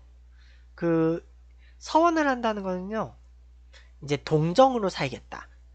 그 혼인성사를 하지 않고 살겠다. 이런 서원을 해요. 그 수사하고 수녀는. 수사하고 수녀는 그런 그 서원을 하는데 그 그래서 유기서원을 몇 차례 하다가 종신서원을 해요. 종신서원은 이제 평생 그 서원을 하겠다. 이렇게 하고요. 그 그래서 수녀님들 같은 경우에는요. 그래서 나 친구 중에서도요. 그 뭐냐 수도에 입회를 했다가 그 수도 수도에 입회했다가 어 조금 잠깐 지내다가 서원은 안 하고 그 나왔던 친구가 있어요. 음. 요즘은 열 군대 갔다 와서는 그 연락 잘 안 했는데 어 근데 이제 지금은 음, 지금은 모르겠어. 다시 입회해서 수녀님이 됐는지 아니면 그냥 일반인으로서의 삶을 살고 있는지. 음. 그렇고요. 그, 그 다음에 이제 1997년, 그, 1997년에 그 로마 살레시오 대학교로 유학을 가고 그래서 종신서원 보통 수사들은 서품을 받는 그 기간쯤 됐을 때 종신서원을 하는데 그래서 이제 그 일반적으로 신학 신학교의 학부 과정으로 들어가서 신부님이 되는 방법이 있고요. 이 수도회 소속으로 수도사제가 되는 방법이 있어요. 그래서 이, 이 이태석 신부님은 수도사제예요. 수도사제고 그래서 이제 보통 수도사제들은요 종신서원 시점에서 부재서품을 받아요. 종신서원 시점에서 부재서품을 받고 그래서 종신서원으로 수사로 그 수사로 지내는 분도 있고요. 뭐 사제서품을 받는 분도 있어요. 그래서 종신서원을 하거나 부재 그래서 종, 로마에서 종신서원을 하고 부재서품을 받았고 그 다음에 원래 그 부재서품 받으면 그 1년 뒤에 사제서품을 받거든요. 그런데 이제 2001년에 서울대교구에서 사제서품을 받아요. 그래서 수도사제가 되는데 당시 서울대교구의 그 사제서품은 여름에 했어요. 당, 2001년에 여름에 했고요. 그 당시엔 여름에 했고 그 다음에 이제 지금은 지금은 서울대교구가 사제서품을 그 2월에 해요. 2월에 하는데 그 옛날에 사제서품은 6년 반 신학생 사제서품 양, 사제 양성 기간이 6년 반, 그 6년 반 제도였어요. 학제는 학제는 6년 반인데 연령 문제 때문에 그 군복무 2년 그리고 해외 선교 1년을 보낸대요. 군복무 1, 군복무 2년 해외 선교 1년. 그래서 그 옛날에는 9년 반을 했는데 지금은 해외 선교 이런 거 포함해서 10년이 돼요. 지금은 10년. 근데 군필, 군필일 경우에는 좀 10년을 다 안 채우기도 해요. 그 군필이거나 아니면 학부를 거쳐서 다시 그 신학교에 들어간 경우는 이제 그러면 보통 이런 분들은 군복무를 하고 오잖아요. 군복무를 하고 오기 때문에 그 기간이 빠지, 군복무 기간만 빠지지. 해외 선교는 가요. 음. 그리고 이제 뭐냐. 가끔 이제 시, 어느 정도 신체가 건강해야지 사제가 될 수 있지만 군복무를 면제받은 분들도 있거든요. 면제자들도 연령 문제 때문에 휴학은 해야 되는데요. 이럴 때는 해외 선교 1년인데 그거를 가요. 그럼 나머지 2년 동안 뭐 하느냐 면제자들은 면제자들은 그 휴학하면서 그 휴학하면서 이 성교 실습을 해요. 성교 실습. 사목 실습 하고요. 어쨌든 그 몰라 이신부님 이, 이, 이 신부님이 그 서품 성구인지 아니면 그냥 본인이 가장 중요하게 여기는 성구인지 모르겠는데 보통 신부님들의 그 사, 서품 기념으로 상본을 만들거든요. 그래서 서품 날짜가 며칠이고 천미사가 언젠지까지가 쓰여져 있어요.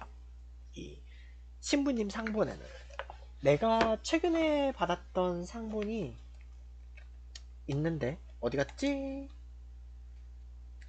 그 신부님 상본이 있는데 어, 어 지금 어떻게 뭐 보여 당장 보여줄 수 있는 상황은 아니네요.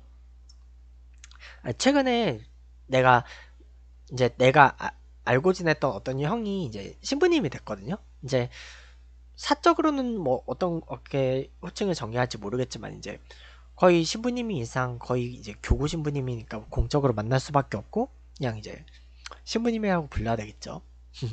어쨌든 그래서 신부님 참미사 하는 날 그 인사 갔다 왔는데 어 어쨌든 서품 성구의 가능성이 높아요. 너희가 내 형제들인 이 가장 작은 이들 가운데 한 사람에게 해준 것이 바로 나에게 해준 것이다. 마테오복음 25장 40절에 있는 구절이고요. 그래서 이분은 이제 수도사제 서품이 되면요.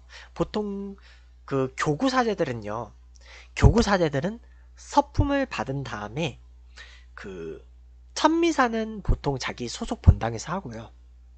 그 다음에 이제 인사이동이 1년 두 번 있어요. 서울대교 같은 경우는.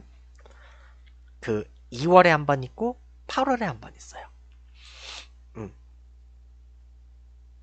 그, 그 인사이동 때, 음, 그 이동을 하는데, 그러면 이제, 이제 보통 첫 번째 임지로 가거나 유학을 가거나 그래요. 신부님들은. 음, 근데 수도 사제들은 보통 그 수도에 그대로 남아요. 수도 사제들은 수도에 그대로 남아서 수도 생활을 하면서 근데 그 수도원에서 도 미사는 해야 되거든요. 그 미사를 직전 하는 거지. 수도 수도에는 수도회에서는 그렇고 그 근데 이 이태석 신부님은 서품 직후 의료봉사를 가겠다. 아프리카로 가겠다. 그래서 케냐에서 활동하다가 이제 지금은 남수단으로 가요. 지금의 수, 단 지금의 남수단이에요. 이 남수단으로 가서 의료 봉사를 시작을 해요. 그래서 거기서 병원 세우고 그 특히 한센병 환자들의 또 발이 엄청 구부러지거든요. 맞춤 신발 만들고 거기서 병원에서만 진료를 하느냐 일주일에 한 번은요 동, 그 병원 휴원하고 오지에 가서 이동 진료를 하고 그리고 이제 거기 교육시설 이런 것도 없으니까 학교도 세우고 기숙사도 세우고 음악 활동도 하고 어 진짜 막 연극도 만들어서 활동하고 진짜 이것저것 다 다 했대요. 음. 그랬다고 해요. 그 이제 가끔 이제 좀 그 의료와 관련해서 그 이제 좀 지원도 좀 받아야 되고 하니까 그 이제 자선 공연도 하고 해야 되니까 보통 2년 주 2년 주기로 한국에 귀국해서 이제 휴가를 쓰면서 이제 다른 그 지인들 성당 이런 데도 막 다니면서 막 기금도 모으고 뭐 이런 것도 하고 어쨌든 그랬다고 해요. 근데 그렇게 2년 주기를 귀국해서 휴, 그 뭐냐 2001년에 서품을 받았는데 그래서 2년 주기로 귀국을 했었는데 그 2008년에 휴가를 와서 건강검진을 받다가 대장암 사기 대장암 사기가 나온 거야. 그래가지고 이제 원래는 이때 그 투병 중이긴 하지만 아프리카로 다시 가려고 하셨대요. 하지만 이제 계속 다른 동료 신부님들이 다 말려가지고 결국 이제 이제 더 이상 성당 그 아프리카는 못 가고 지, 그 거기에 이제 다른 그 다른 한국인 신부님들이 또 가 있으니까 또 지원을 해달라. 의사들도 갈 거니까 지원해달라. 되게 이런 거 호소를 했고. 그러니까 거기서 학교들도 세워가지고 그 학교들도 그 공부도 가르치고 해가지고 이제 그 남수단에서 학생들 양성해가지고 이제 뭐냐. 학교에 유학을 보내지. 한국으로 유학을 보낸대요. 그러니까 그런 거 지원해달라 했고 결국은 이제 대장암 사기로 투병을 하다가 결국 이제 투병 중에도 그렇게 왔다 갔다 하시다가 암이 이제 간으로 전이가 된 거야.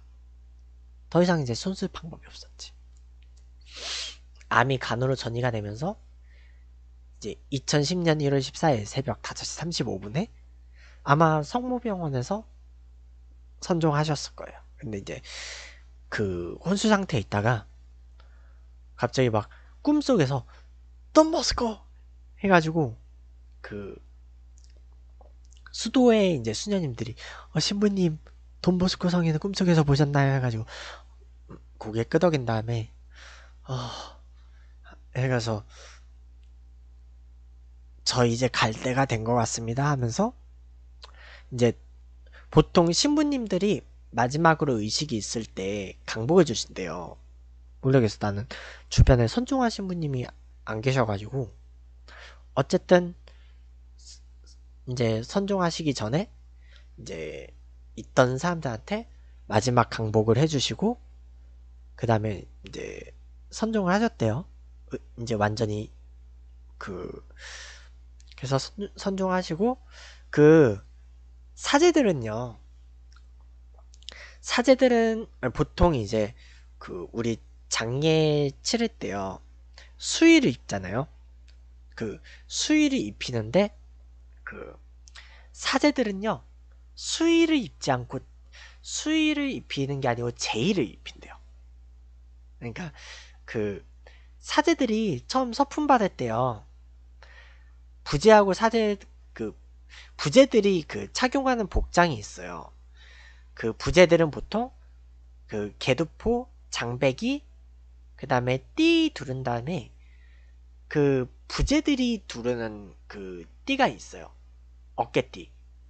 부제들은 어깨띠를 두르고 그 부제들은 어깨띠를 두르고 그 다음에 이제 부제 어깨띠를 갖고 있다가 이제 사제 소품을 받을 때 그 이제 차기식을 해요. 서품 미사를 할 때 차기식을 하는데 보통 서품 미사는 백색 제의를 입거든요. 서품 미사 때는 백색 제의를 입고 그래서 천미사도 보통 백색 제의를 입어요. 음, 보통은 천미사도 백색 제의 입어요. 그 이상 다른 다른 때 미사는 이제 다른 색깔 제의로 바꾸는데 어쨌든 그래서 이제 백색 제의를 입는데 이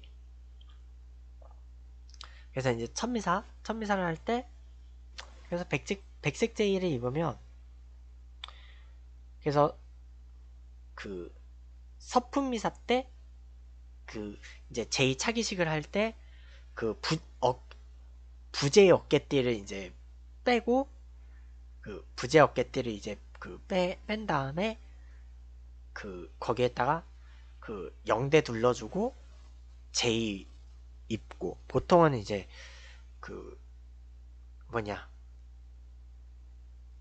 보, 보통은 이제 그 선배 신부님 음 보통은 이제 그 성당 출신의 선배 신부님들 뭐 이런 분들 그 성당의 주임 신부님 이런 분들이 입혀주신대요. 음. 그 성당 주임 신부님이 보통은 이제 뭐 지도 그 본당 소속 본당 지도 신부님이니까 음 그래서 입혀 주신다고 해. 왜 자기 성당 소속이니까. 그래서 그 보통 입혀주러 가고요. 그래서 사제서품 미사 가보신 분들 알겠는데요. 그 보통 그 교구장인 추기영님이 이제 집전을 한, 하다가 이제 그 성찬 전례 성찬전례 때부터는요 그날 서품을 받은 새 사제들이 함께 제대에 올라가요. 함께 제대에 올라가서 이제 성찬전례 때부터는 새 사제들하고 함께 미사를 집전을 해요. 그럼 이 새 사제들도 바로 성체 분배를 하러 가죠. 그 신학생들도 부제들은 당연히 성체 분배가 되고요. 음, 부제들은 성체 분배가 되고 그 다음에 이제 그 다음에 이제 신학생들도 아마 일정 자격 아마 되면 분배가 되는 걸로 알고 있어요. 자, 어쨌든 그 다음에 이제 성체 분배를 할 수 있는. 그래서 보통 그런 서품 미사를 가보면 되게 그런 의미가 좀 있어. 음. 일단 그렇게 생각하시면 될 것 같고요. 어, 어쨌든 뭐 그래요. 그래서 보통 처음 서품 받을 때 이제 제의를 입잖아요. 서품 받을 때 제의를 입는데 이제 장례 미사를 할 때 신자들은 일반 신자들은 수의를 입지만 사제들은 제의를 입어요. 사제들은 제의를 입고 관 속에 들어간다 그래요. 음, 제의를 입어요. 그 미사 때 쓰는 제의, 그 제의를 입고 그,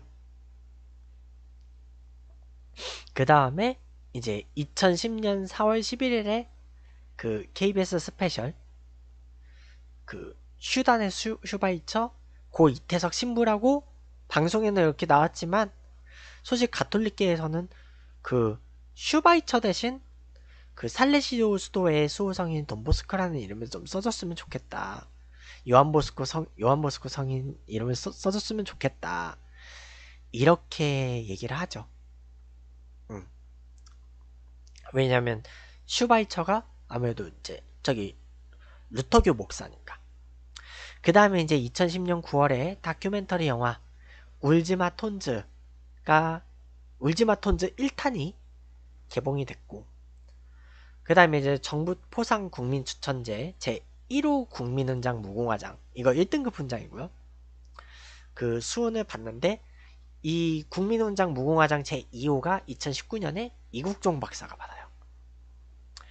음, 이국종 박사가 받고 그 다음에 그 영화를 연출했던 구수한 PD가 2012년에 울지마 톤즈 그 후의 선물이라는 책을 쓰고요. 아마 이분도 그럼 신자신가? 그래서 이제 그 톤즈에 있는 그 병원은 다른 한국인 신부님들이 거기서 운영을 하고 계신다 그래요. 그래서 지금도 계속 좀 활동 이런 그 후원 이런 걸 좀 있었으면 좋겠다 뭐 아마 후원 활동 이런 거 있을 거예요. 그 다음에 이제 이 톤즈의 이 신부님이 만들어서 그 교육시켰던 이 제자들 이 학교 제자들이 이제 많이 커가지고 이분들이 이제 계속 우리나라의 그런 재단 그 자선 재단 이런 그 기부 이런 후원을 받아가지고 계속 교육을 받아서 한국에서 장학생으로 유학을 한대요. 그래서 첫 번째 제자 중에 제자 중에서 이제 토마스 타반 아콧이라는 사람이 수단에서 와가지고 2018년에 인지대학교 의대를 졸업해서 그 이태석 신부님의 그 제자 의사가 됐지. 제자 의사가 됐고 처음으로 인제대 의대 수단 출신 최초래요. 이, 이 사람이. 그리고 올해 뭐 울지마 톤즈 2탄 개봉을 했다고 하더라고요. 참고로 저는 울지마 톤즈 시리즈 아직 못 봤어요. 나중에 구해서 봐야죠. 음, 구해서 한번 볼 생각이고요. 아마 음 아마 또 이제 관련해서 그 다큐멘터리 이런 건 아마 좀 저기 CPBC 평화 방송 뭐 이런 데서 찾으면 나올라나? 뭐 일단은 그렇다고 해요. 자 어쨌든 그렇고요. 여기까지 이태석 신부님과 관련한 이야기는 여기까지 할게요.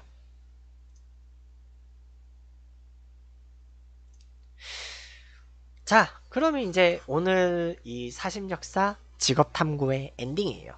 자, 의사양반이라는 호칭. 어, 의사양반이라는 호칭. 이 1940년대에 이 당시 야인시대에서 연결했던 시명이라는 그 배우 김영희 씨가 연결했죠. 당시의 시명은 양반 칭호의 이미지가 바뀌는 과도기 중이었어요. 당시의 양반이라는 칭호는 굉장히 높은 신분의 그 약간 선생님들을 양반이라고 부르는 약간 그런 경향이 있었는데 요즘은 양반이라는 그 칭호를 붙이는 게 좀 그렇게 썩 좋지 않단 말이에요. 음. 그래서 그래서 양반이라는 호칭을 붙인 것 같고 음, 지금은 보통 이 보, 지금은 보통 이 선생이라고 부르죠. 보통은 선생 뭐 아니면 이제 음, 대학병원에서는 직급을 써서 뭐 교수, 과장 뭐 이렇게 부르기도 하고요. 음. 교수, 과장 뭐 뭐 직책이 있으면 그 직급에 직급에 맞춰서 부르겠죠. 그리고 근데 보통 민간인들은 어디를 가든 그냥 선생님이에요. 음. 그리고 이제 배우 드라마 야인시대에서는 그 배우 강승원 씨가 이 의사 양반 역할을 맡았죠. 백병, 백병원 의사 양반. 음. 이보시오 의사 양반 해가지고 선생은 앞으로 아이를 가지실 수가 없습니다. 했었다고 하네요.